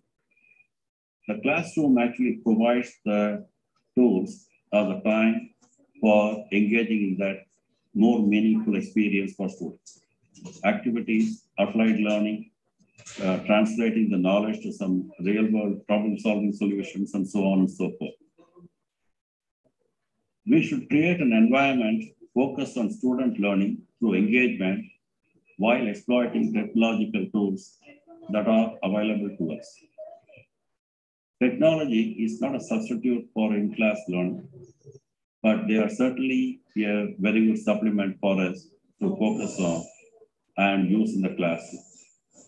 Therefore, I request all of you to reflect upon how you can adapt yourself to the changing environment and also in the process, redefine your role as an educator or a teacher and make education more meaningful for the students as well as the society.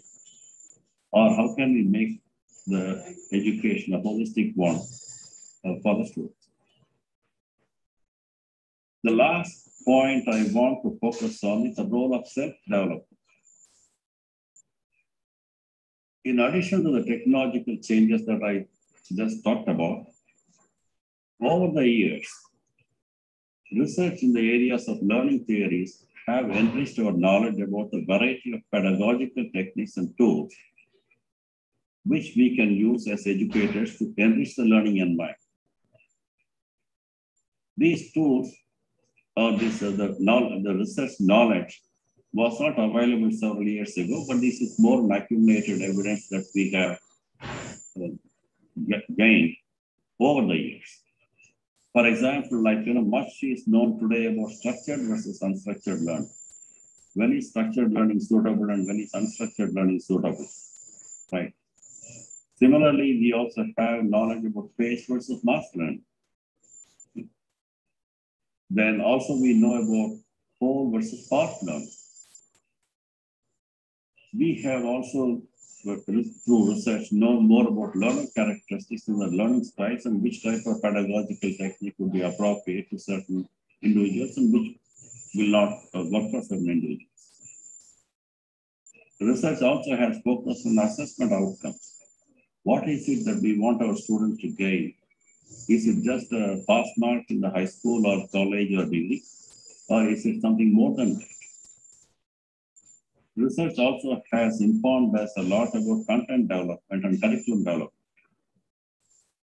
Needless to say, the research also has shown us, for example, like how do the instructor characteristics influence the learning and engagement that takes place in the classroom.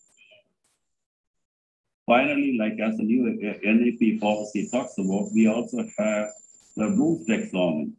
Like, you know, whether we want an age appropriate curriculum and what type of skills they must acquire and so on and so forth. So let me suffice uh, or summarize it by saying that education is a function of the teachers, the content that we are trying to do, the tools and techniques available, as well as the learner characteristics. It's a complex, interdependent, and interactive phenomenon. These are only some of the things that came to my mind, which I mentioned. But surely there are several other factors that you know we need to really consider. For example, the socioeconomic status of the person, um, and uh, parental family influence on learning, so on and so forth. The important thing for us as educators is to reflect upon not just the content or what we are planning to teach, but also how to more effectively deliver what we intend to deliver. As educators, most of us know, for example, I teach a class today. When I come back, I know that did the class go very well or did the class did not go well. Right? If it went very well, I need to focus on why it went well, what worked and what did not work. Or if it did not work very well, I said, say, why did it not uh, uh, elicit the type of responses or engagement of the students in the, in the learning process. Therefore, one skill as teachers we have to understand is uh, to develop as part of self-development is to our ability to reflect upon which strategy worked for us and which strategy did not work for me. I'm not saying that the same strategy is going to work for everybody, but each one of us has a unique strength.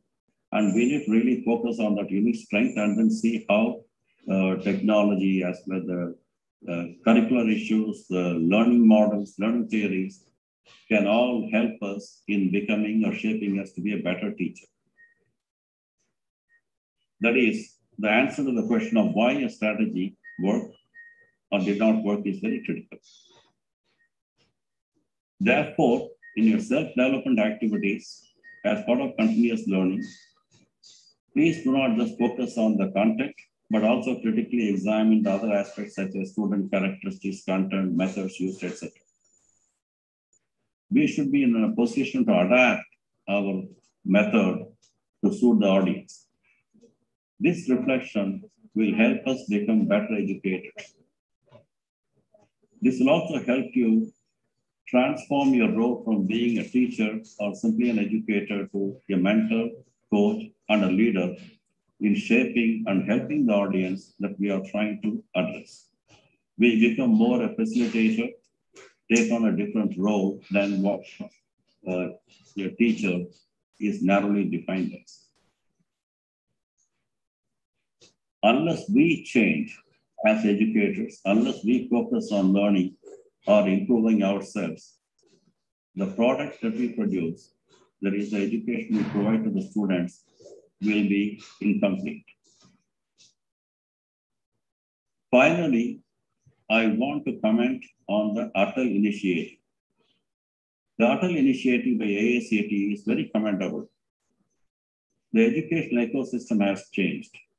And Atal Academy also has changed in the sense that you know now they are able to reach out to broader audience through these various webinars and uh, these type of uh, inaugural addresses or uh, FDPs organized online and so on and so forth. These are designed to help share knowledge among ourselves. This program, as well as other programs that you are planning to attend, now as well as in the future, will provide you with additional food for thought. At the end of the day, when you return to your classrooms, please reflect upon what you are learning in these programs and see how these programs can help you change wherever change is needed and to make the best use of the opportunity provided to you. Thank you very much. Thanks a lot for those reflective and thoughtful words from your side, sir. Our Uh, next Makika, I'm sorry, I'm interjecting our uh, Professor Sahasrabudhe, they are honorable chairman. He's here, yeah, yes. So may we request sir to say Yes. Uh, Chairman sir? Yeah, thank you, Mamta Rani, as well as Pratika Datta for giving me an opportunity. I'm traveling and so sometimes connectivity it is all the less I was carefully listening to our chief guest, Dr. Nagarajan Rani, Director of IIM Amritsar, and almost all the facets of what do educational institutions from the teacher's point of view, from the student's point of view, as an educational institution has been carefully told by him in very many words, and therefore I need not repeat some of those. Nevertheless, two things are like, uh, you know, what we say, revision is required, and therefore I will take on from what he said in terms of access. Today, all areas of the country, including some of the rural areas, are connected through an internet, and therefore when during pandemic we started off with the classes in an online mode, we were able to reach out. But there are certain difficulties. Some places there is a difficulty of connectivity being not stable. Sometimes the internet may be there, but some of the poorer children. So there are some challenges which we have been addressing day in and day out, and hopefully in uh, a couple of months' time, when the robust BharatNet connectivity is established at all the villages of the country, probably this problem will be reduced substantially. But nevertheless, he touched upon quite often about the value system and how teachers are going to be a very important role players in the entire education system. Because teacher is the one who remains in that system for about three to four decades. Students come, batches come, they will be there for three or four years and go away. But the teachers, if they are not trained well and if they are not understanding the pedagogical aspects very well, uh, the kind of products the next generation being prepared will not be of good quality. And that's why focus on the teachers is very, very important. And the new national education policy talks about teacher education as one of the most fundamental things as far as uh, the higher education is concerned. Uh, she also talked about structured and unstructured learning, different learning styles. A lot of research has been happening. But I would like to reflect that in our ancient traditional knowledge system, Indian knowledge system, there are 51 different styles of learning. You know, in the modern era, we have touched about seven or eight of those kind of things, not the 51 of them. We talk about classroom lecturing. We also have tutorials. We have laboratory classes. We have experiential learning. We have project-based learning.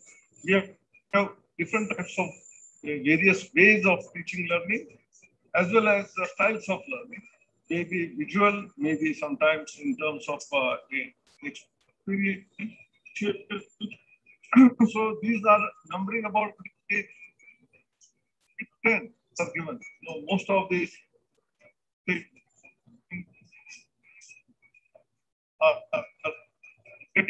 have. So when teach a student a particular topic through uh, play, through painting, I think people would probably not be aware in the Western world as to what significant things India had already done. And therefore, when we are talking about pedagogy, we have had uh, a teacher certification program of eight modules followed by internship and senior faculty member.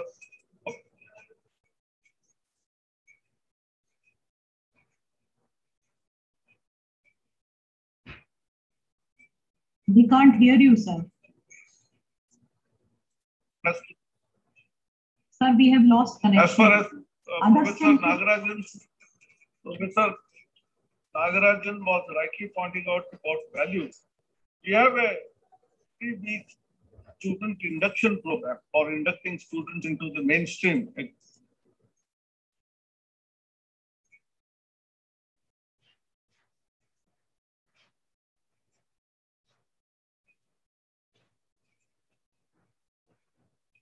Education. Uh, students coming from different backgrounds, And for training faculty members, we have faculty development program for universal human values. So the diversity of activities that AICTE has undertaken in the last four years, where uh, in the induction programs, health and yoga, Ayurveda, historical places visits, maybe archaeological sites, sports, exercise, meditation. These are all very, very important aspects of life, which are also part of the holistic education, which the new education policy talks about. And through variety of faculty development programs, we are inducted. He also mentioned about evaluation of students, you know, examination system. We are aware of what we do some of uh, not only memory-based questions, but uh, higher level of understanding of the subject, be it uh, in terms of uh, the fundamentals, foundations, the basics, but also application of that, what is learned in terms of uh, analytical ability, data analytics, and also creativity. All of this has to become part of the examination reforms, which has also undertaken. And therefore, these Atal Academy programs, although they appear to be meant for higher level of uh, some of the subjects or emerging areas like AI, IoT, machine learning, deep learning, robotics, 3D printing, blockchain, augmented reality, virtual reality. Each one of these subjects have great applications, almost all facets of life of the human beings. And that's why, how do you make use of this learning and then apply it into real practice is what our teachers have to do. So during this one week program, lot of exercise, lot of uh, you know, tutorials are given. We will be given some assignments. Please take them seriously. And if you are able to capture the essence of this, you have to progress forward in your own ways later. You know, we have the internet where you have all the information available. But one of the challenges for teachers is how this information is converted into knowledge, knowledge into wisdom. I think that no internet will do it. And that is where the role of the teacher uh, starts off as a mentor, as a facilitator. He is an actor on the stage, we say, in the classroom. So all of this uh, faculty member will have to start exploring himself or herself and then give the same exposure experience to our students in our classrooms. If you are able to do and give some of the challenges, you know, our Smart India Hackathon is one of those places where students are given challenging statements and they come out with solutions. We are not giving anything. And then we may tweak with the solution in order to make it more robust, more uh, acceptable, more uh, you know, creative. But nevertheless, original solution comes from young minds. And how young minds are to be trained in becoming innovative is another area which uh, these eight modules of teacher certification is taking shape. Atal Academy is conducting con constantly. And I'm sure uh, if we all put in our best, we will transform the education landscape in our country through the new national education policy. And in the future, the students who are coming out will not seek jobs, they will be able to create jobs. You know, they will be having so much of enthusiasm through the learning that they have that they would be in a position to create jobs for the country and make uh, our country happy, their families happy, but also the world happy. And uh, that is what we say, Sarve Janaha Sukhino Bhavantu, is this philosophy, the spirit which uh, we have imbibed. Vasudhaiva Kutumbakam means the world is one family. We are truly following that in our respect. This will make our country Vishwaguru in all respects. Thank you very much. Namaskar. Thanks a lot, sir, for stressing the importance of Indian values and the holistic educational initiative that Atal Academy and AICTE is taking all along. Uh, with this, uh, we come to an end to, of this inaugural ceremony. Um, it is by... Uh, but Pratika, I would just express my heartfelt uh, gratitude to Professor Ramamurthy for sparing his valuable time and some of the points which he really, really brought on floor absolutely echo my sentiments. I have always been believing that it is the teachers who have the lasting impression for generations because you know they are the one who finally are uh, uh, इनको बोलेंगे निर्माता you know हमारे समाज के हमारी community के हमारे देश के और सृष्टि के सभी के वो निर्माता है बहुत लॉन्ग लास्टिंग इम्प्रेशन है और technology intervention again sir has beautifully said that you know what teachers can do तो teachers for teachers with effective technology can truly be transformational and enabler it is a powerful tool for them and then Indian Indian value all of us are trying कि हम अपने देश पर अपनी संस्कृति पर अपनी भाषा पर अपने पहनावे पर अपने राष्ट्र पर अपने रीति रिवाज पर अपनी सभी चीज़ों पर गर्व करें और अपनी अगली पीढ़ी को किसी प्रकार से गिफ्ट देते हुए ले जाए इन्हें आगे ले जाए। तो धन्यवाद सर मैं पूरे मन से, आपका दिल से, आपका हार्दिक धन्यवाद करती हूँ। और हमारे जो माननीय अध्यक्ष हैं, उन्होंने इसमें जो जोड़े हैं, बहुत ही उनके बहुमूल्य वचन हैं जो इसमें उन्होंने जोड़े हैं। तो ये बहुत ही सुंदर समागम है, भाषाओं का एक बहुत सुंदर समागम है टेक्नोलॉजी का, और बहुत ही जो हमारे टेक्निकल निश एरिया है धन्यवाद सर आपके समय के लिए आपके बहुत बहुमूल्य वचनों के लिए और सभी लोगों को इंस्पायर करें धन्यवाद अब with the permission of the chair we can close the ceremony please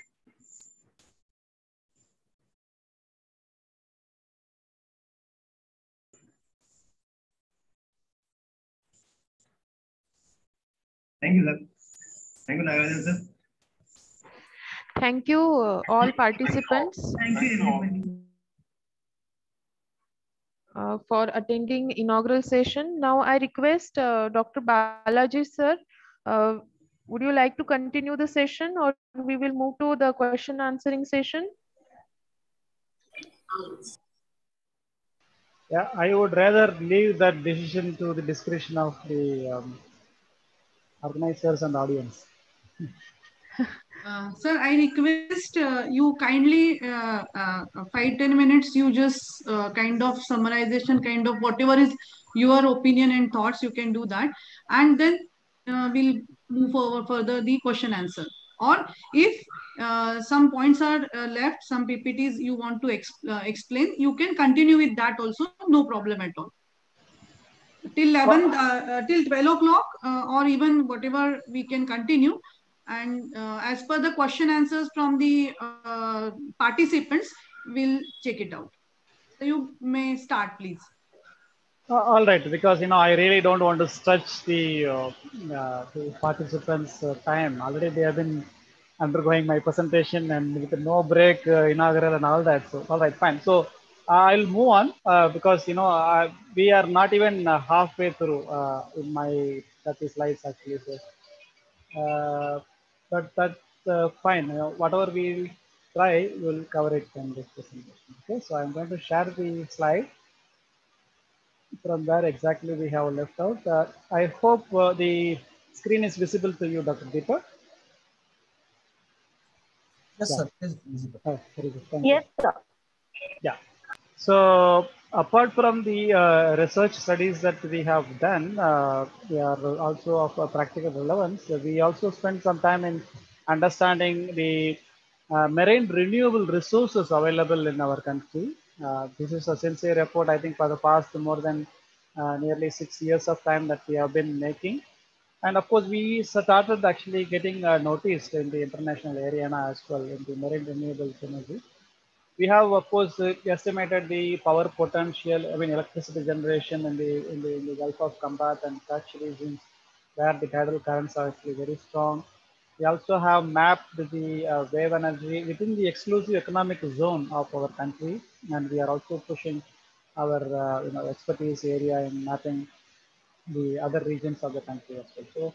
So uh, as a as a you know academic institution, we are also part of the international uh, uh, forums, several of the international forums where we also contribute from our side, uh, and we also learn from their experiences. You know, the experience of the other academic and research institutions. So we also learn from them.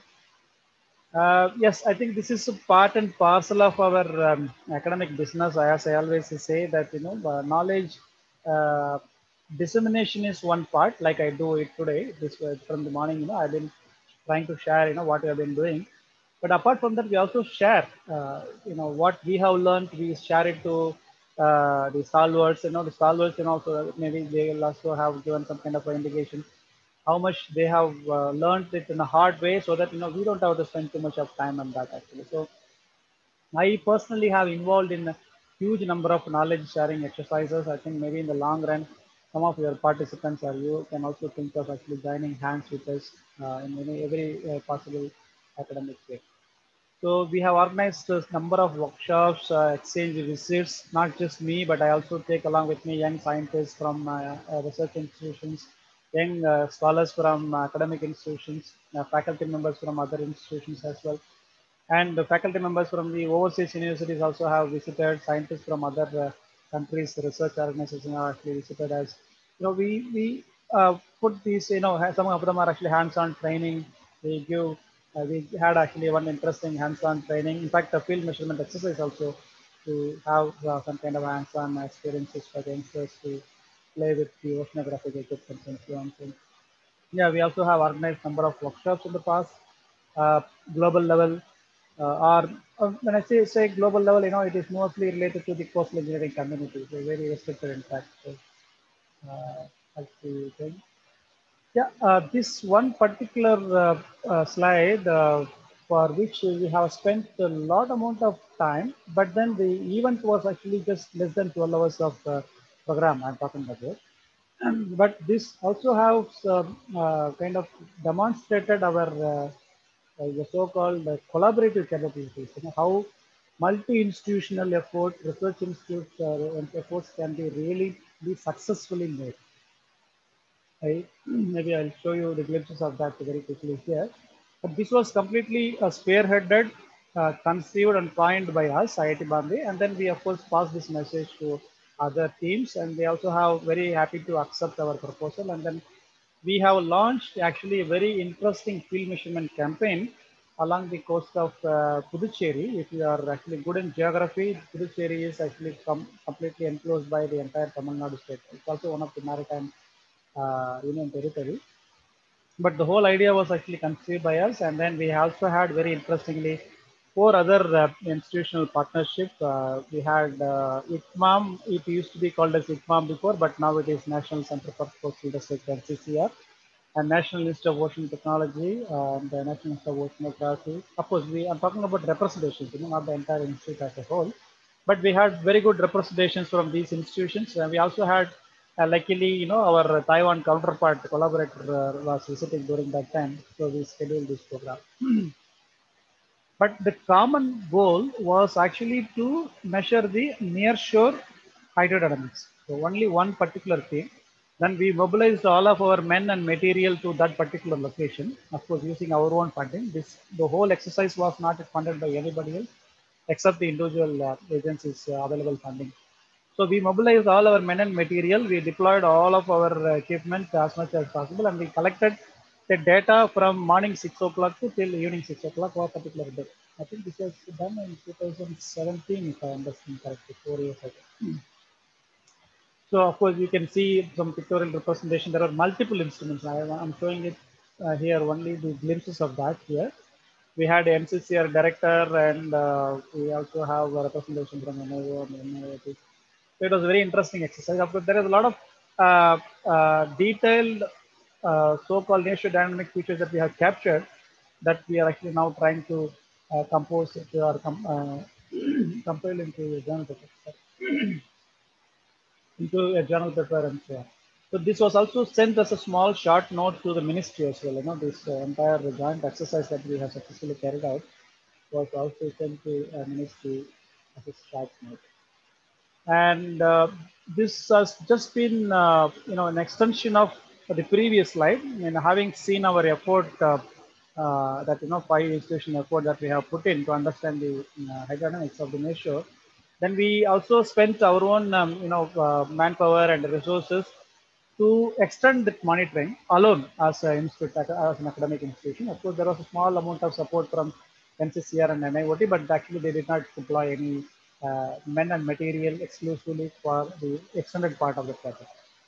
So in the same project region, we have uh, continued to do some kind of, uh, you know, uh, monitoring. I think there is a, a unique project, a coastal engineering project that was actually implemented by National Center for Coastal Research uh, on, uh, on behalf of MOES to restore the beach partially along the Pondicherry coastline. Uh, I think it's also called as sometimes Puducherry. So it's basically a small union territory uh, completely surrounded by Tamil Nadu Maritime State.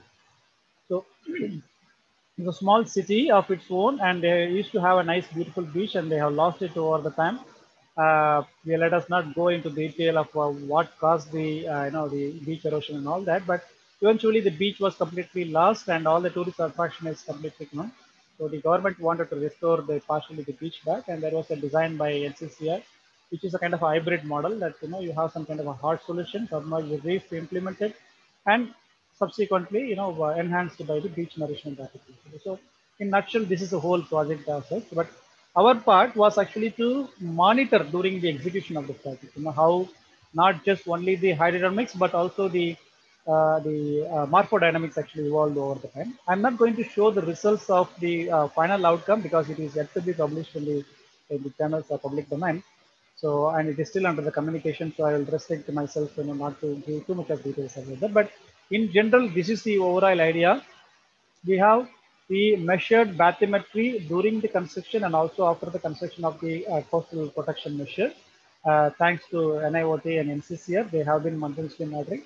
And our effort was actually to see whether we can, one side we establish the uh, field measurement campaigns and other side do some kind of a numerical modeling to see whether we can uh, estimate the long-term or maybe short-term, you know, if you can't actually the short-term evolution of the morphodynamics within that region. Very short region I'm talking about, I think not more than three kilometers along the coast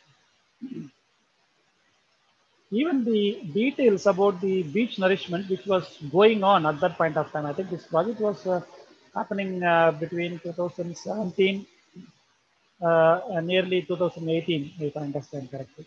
Yeah, the beginning, I think somewhere in the month of April of 2017 to beginning of 2018. So during this period, we have multiple measurements, measurement campaigns and multiple data sets collected and all of that will actually go into our model and we can even uh, you know uh, distinguish which part of the uh, material being introduced as an artificial nourishment because the, the artificial based nourishment is basically going to Uh, happen uh, from the dredges. Dredges uh, can't really come very close to the coastline to create beach, but then they'll stay slightly away and then they pump the water like a rainbow, I mean, like a jet. So this will come as a natural slurry form along with the water and then this material will be available for the nearshore dynamic to disperse it along the coast. So this we wanted to actually mimic that in the computer. Well, uh, yeah, our experiments uh, that we have done using, uh, you know, GPS fitted the drifters to capture the surface currents, we found some very unique and also very interesting coastal feature. I'm talking about very close to the swash zone. Okay, so which means the waves are uh, just breaking, and these are the locations where even your conventional measurement, like you know, deploying any ADCP or any ADV would be extremely challenging. Number one, and uh, number two, the, I mean, in terms of depth, I'm talking about, and also there is uh, one particular experience of our own during one of our field measurement campaign that the ADCP which we tried to install was actually toppled by the breaking jet. I mean, within few hours of after we deployed, the, the ADCP was completely toppled, which means, you know, it fell down on the ground, which you'd never notice, you know, because we deploy and uh, all the data is going to be stored within the uh, SD card uh, present in the ADCP. And once you retrieve, only then you will realize that there is no data in that. Okay. So uh, this is one of such kind of experience that I'm talking about. There are several such experiments where we have deployed and then retrieved the equipment after a week or two weeks with zero data. Of course, these disappointments are actually quite happen and quite common in the field measurement campaign. But what I'm trying to tell you, it is going to be even more challenging and complex when you speak about uh, the uh, breaking zone and then swash zone. So that's where we use the uh, low cost you know, GPS drifters. We want to capture the currents. There are, of course, it is also okay to capture the nearshore currents at the surface level for the simple reason is that the currents are nearly uniform in the vertical column, uh, unlike your uh, unlike your uh, situation slightly away from the initial region where the water depth is 10 meters or 15 meters, where you are interested in uh, measuring the current profile at various water column. Here, the water depth is one meter or you know not more than two meters. You know, we are talking about such a you know shallow water. The currents are fairly uniform throughout the water column all the way up to the bottom. So it's okay and practically relevant that you know if you capture the surface currents, you can more or less assume that that's the kind of currents even also at the bed level. It is not exactly the, the same, but at least you can make some kind of a guesstimate or approximation there that you know it is it can be assumed that you know that kind of current is also prevalent in the level. So we did this uh, uh, uh, surface current capturing uh, in field measurement campaign three different seasons. Of course, we have done it multiple times, but I'm showing it actually in three different seasons. But even the season actually uh, gave us a very interest, interesting insight into the uh, influence of the season in the dynamics also. For example, the one that is actually projected on the left top corner is March, which is pre-monsoon. And then we have one in uh, July and uh, one in December as well. So actually uh, uh, southwest monsoon and then also north northeast monsoon time. What we observe, unless we have these uh, inferences or maybe the observations from the, uh, uh, the from the institute directly, I'm sure none of our model will be able to capture this the information that we're really looking for or seeking for. Apart from the current direction changes, there are influence of the locally generated winds. I mean, the very strong from land to sea. Usually the winds are very strong from the open ocean to the land. That is quite common known to us. When you go to beach, you know, you will always realize that.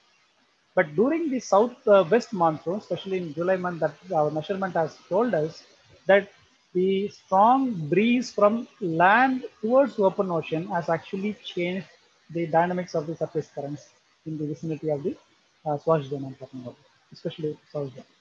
So this basically gave us a totally different, uh, you know, so-called our perception has changed. You know, so far we have been thinking about longshore current being either north to south or south to north, but this is totally different for us. You know, it is actually northeast, like completely going to some kind of a northeast direction. It differs all of them. And with a lot of suspicion, we have repeated this experience. And whatever I have projected here is only the representative or so-called, you know, um, uh, typical picture. We, uh, with a lot of doubt, you know, we repeated this experiment number of times and we observed this similar trend. And then, okay, I think then we went back to our computers and checked, you know, why the numerical models were not able to capture this event. And we found that the model that we have established is exclusively for wave current interaction, mean, wave tide interaction, but never wind. Okay, wind was never in picture in our uh, thinking process. I mean, usually it is very rare to think that you know coastal dynamics, uh, wind being influencing and all that. So then when we introduce the wind externally, and then uh, we also have uh, run the model and found that we could really mimic uh, what was actually really observed from the in situ measurement. The reason why I emphasize that here is that, so without making genuine effort to understand the uh, physical process that really happens in the open ocean, then it is really hard to transform that or hard to uh, establish that in the computer model. Yeah.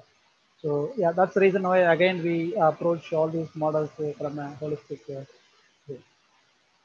Uh, like I said before, every single field measurement exercise uh, will be challenging to us. And uh, I honestly accept even to my staff and students at times that every effort that you make to make something uh, in the field, you learn uh, apart from the data that you collect successfully, then you learn at least one new thing when you come back home uh, to IIT Bombay.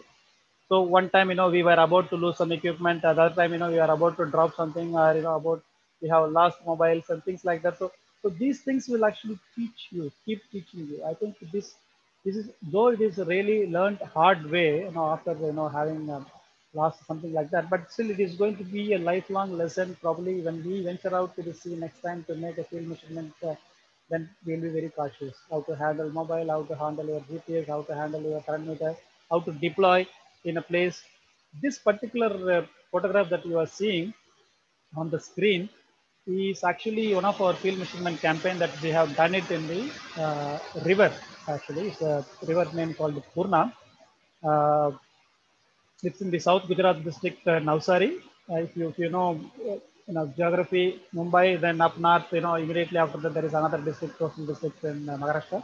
And after that, you go to Valsad, and then up north, uh, Navsari, Surat, and further, you know, you go inside the Gujarat coastline. I uh, state.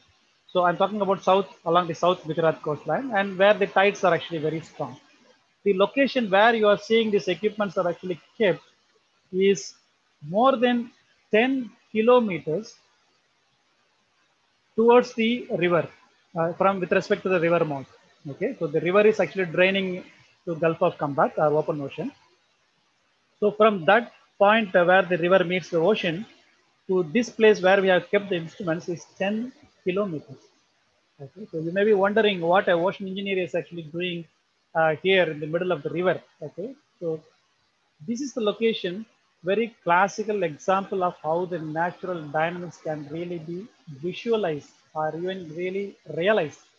Okay, so during monsoon, the rivers are actually flowing full, absolutely no problem. You know, they are river like river like any other river. Okay, so just I wanted to give an example of uh, how uh, the normal days uh, post monsoon after several months, you know, you will have very small amount of discharge actually flowing in the river and all that. Okay, you let it be like a December or January, whatever.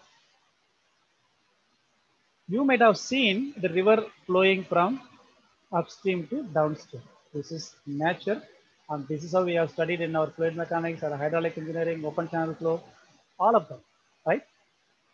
This river 10 kilometer from the river mouth will flow from downstream to upstream during part of the day and upstream to downstream for the other part of the day. Unbelievably, it is a fantastic piece of place where you should really spend some time, at least six hours or something like that. The effect of tides in these regions, the tides are actually very high range, more than six meters of uh, range. I'm talking about the tidal level due to the celestial body attraction, the tidal level can really go up and down. Is so strong in this region that the tides will tides from the open ocean they enter through this river mouth and they come all the way up to more than 20 25 kilometers upstream of the river. Very strong. So you will see the river flowing in the reverse direction for six hours and then original direction for the other six hours and alternatively every single day with no holidays declared 365 days very interesting. So we, of course, for some other, you know, project purpose, you know, we have, uh, you know, established our surface session, everything and all that. And that's the first experience for us. And we were under, we have underestimated the current uh, speeds about the tidal, uh, you know, uh, intrusion in the river. Now, of course, these equipments, you know, when we deploy in the uh, open ocean bed, we anchor them, you know, we add some additional weight to these uh, along with the steel frame this uh, equipment will be mounted on the top of a steel frame with a lot of weights. You know, we put them on the bed so that they'll sit pretty based on their weight, just with their weight alone. I think the weight of the equipment, weight of the frame, and additional weight that all that we have put in was nearly 150 kilograms. We thought, you know, this is never going to be lifted up by the river and all that. It was lifted by the tidal currents. I have seen that in my eyes that, you know, it was dragged upstream I mean, it is taking inside the land and towards the upstream of the river. With great difficulty, I just wanted to tell you that we have retrieved this equipment. Of course, forget about the data. There was no data uh, lost and all our uh, efforts are actually gone on that particular day. We had to visit the place again the next day. That is what a different issue. But the hard lesson that we have learned was the underestimation of the natural uh, force here yeah, was a good lesson for us. So, so of course, you know, every every field measurement will have its own, um, you know, uh, challenge and lessons learned from that. We also had an interesting uh, uh, work on the Thane Creek. Uh, yeah, this particular uh, one photograph you are seeing at the moment on the left corner, we have spent three complete years, but just only one photograph I'm trying to show to you. We have continuously monitored uh, the coastline of South Gujarat coastline, of course, for about 150 kilometers long. Uh, there were a number of uh, anti-sea erosion um, uh, now, projects was actually implemented. So funded by Gujarat government, you know, we were actually monitoring. There are several parameters that we have measured. It may not be so much interesting to you and time is also, you know, not helping us. So I just wanted to tell you that, you know, three years of effort, I'm just showing it in one single photograph. We have, we have volume of data that actually gave us a huge amount of confidence that we can build any theoretical or analytical model on top of this now. In fact, we have also published a paper, maybe if you are interested, I can share that among with you, that the how uh, the, um, uh, the, the impact of the seawalls actually also going to either actually helping us or maybe something like, you know, some kind of a small amount of negative impact that sometimes, you know, we may face. Uh, it is not fault of design or it is not fault of anything, but it is sometimes, you know, quite naturally happen at some, some places, not all places. Okay, so even those small uh, information, you know, uh, the, uh, the observation and uh, those things were actually uh, inferred actually in this particular project. Yeah, yeah. So this is what I was talking about. You know, you usually place your ADCP or current meter in a large frame, and then uh, what you see as a chain, no, the steel chain. They are nothing but additional. Like in addition to that, we also have the side along the corners of the uh, bottom corner of the uh, each frame. We also additionally put some weights as well. Yeah, this is another challenge. Uh, when you when you want to really go out to measure uh, something uh, during a foggy or monsoon, sorry, uh, monsoon or maybe even summer winter days, you may have to wait for the fog to clear. But by the time the tide would have gone back, you know, you may have to come next day again. So there are such interesting experiences as well for us. Yeah, I'm not very sure whether we'll be able to cover all of this. Uh, yeah. Yeah. So I'll stop Yeah. here.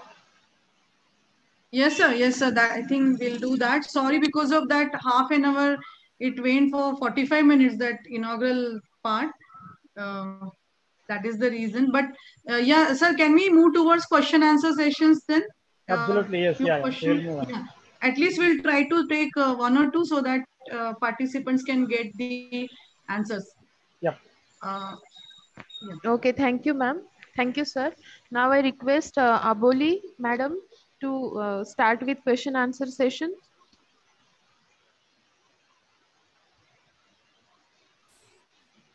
Yes, thank you, ma'am. Uh, good afternoon. So there are few questions in the chat box, and we'll uh, uh, we'll just see one by one. So first question is, uh, to what depth of water and wave height caisson type porous breakwaters can be used? Okay, so I think uh, if you are talking from uh, the uh, uh, port or fishing harbor construction perspective, the water depths can be anywhere from 5 meter to 20 meters up to that level, but it's not necessarily to be specific. I think there are cases in which uh, the caissons are actually uh, built even as a coastal protection structures where the water depths are actually very small.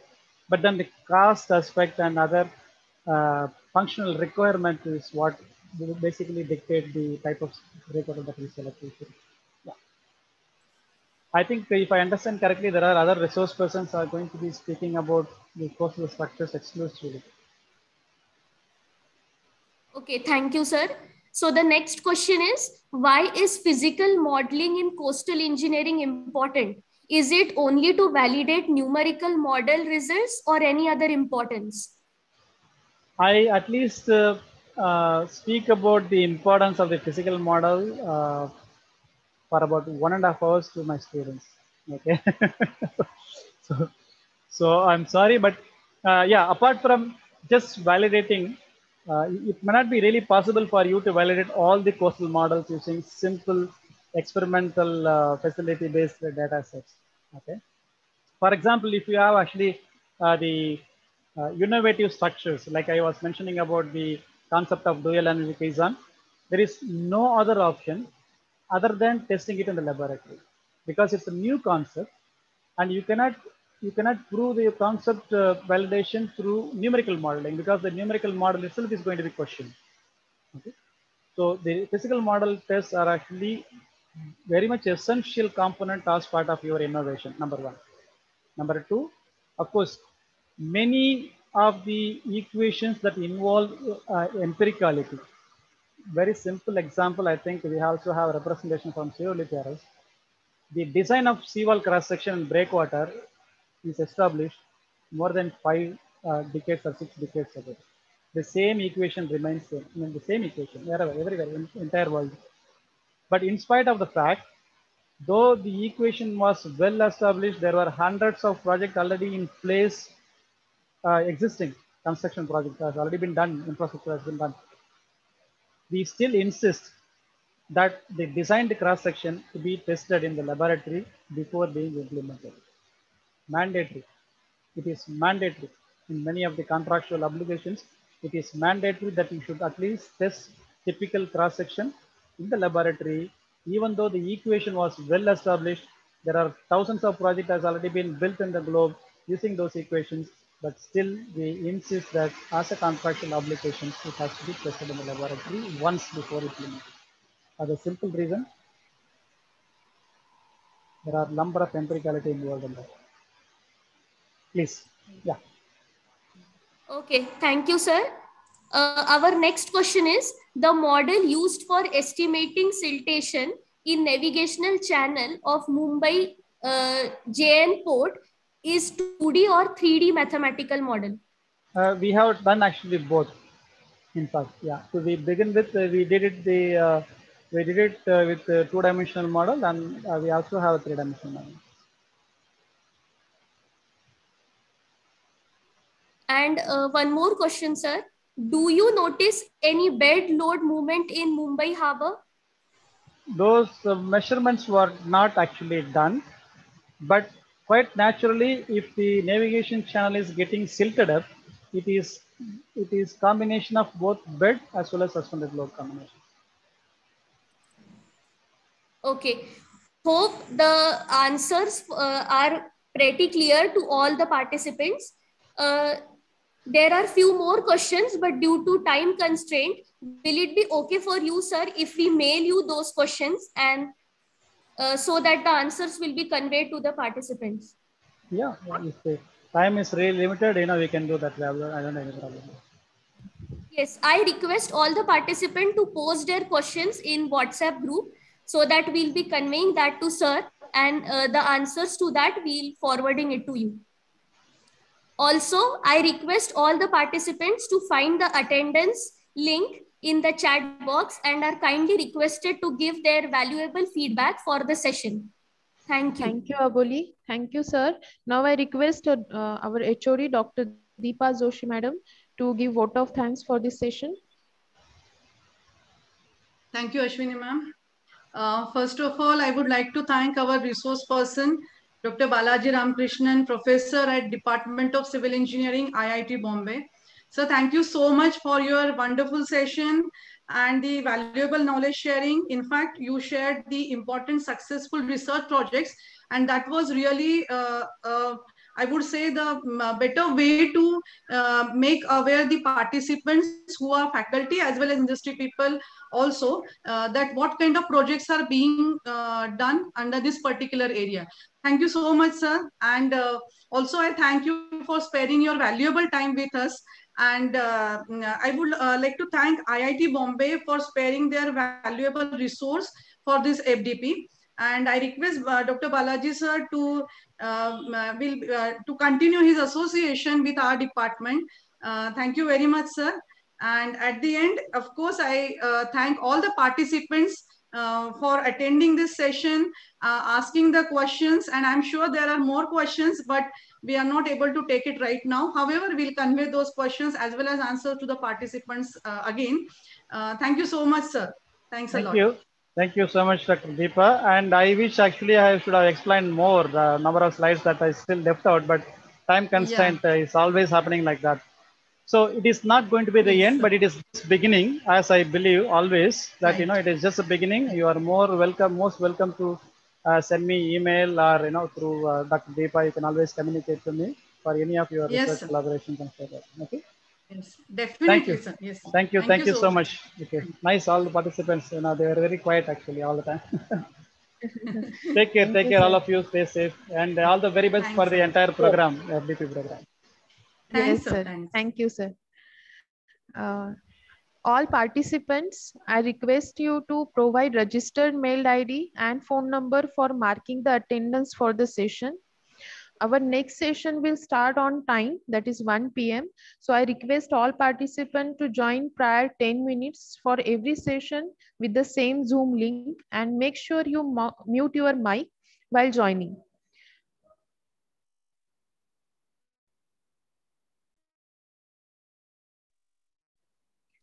After Uh, ma'am, excuse me. Yes, yes. Uh, ma'am, for me, my registered number is so, showing wrong. Uh, your register number is Okay. showing In that case, ma'am, uh, you just uh, convey uh, an email to the coordinator. We will look after that. Okay. Thank you, ma'am. Okay, okay, ma'am. Thank you. Yeah. Participants, after marking your attendance and feedback, you can leave this session and on time you can start with next session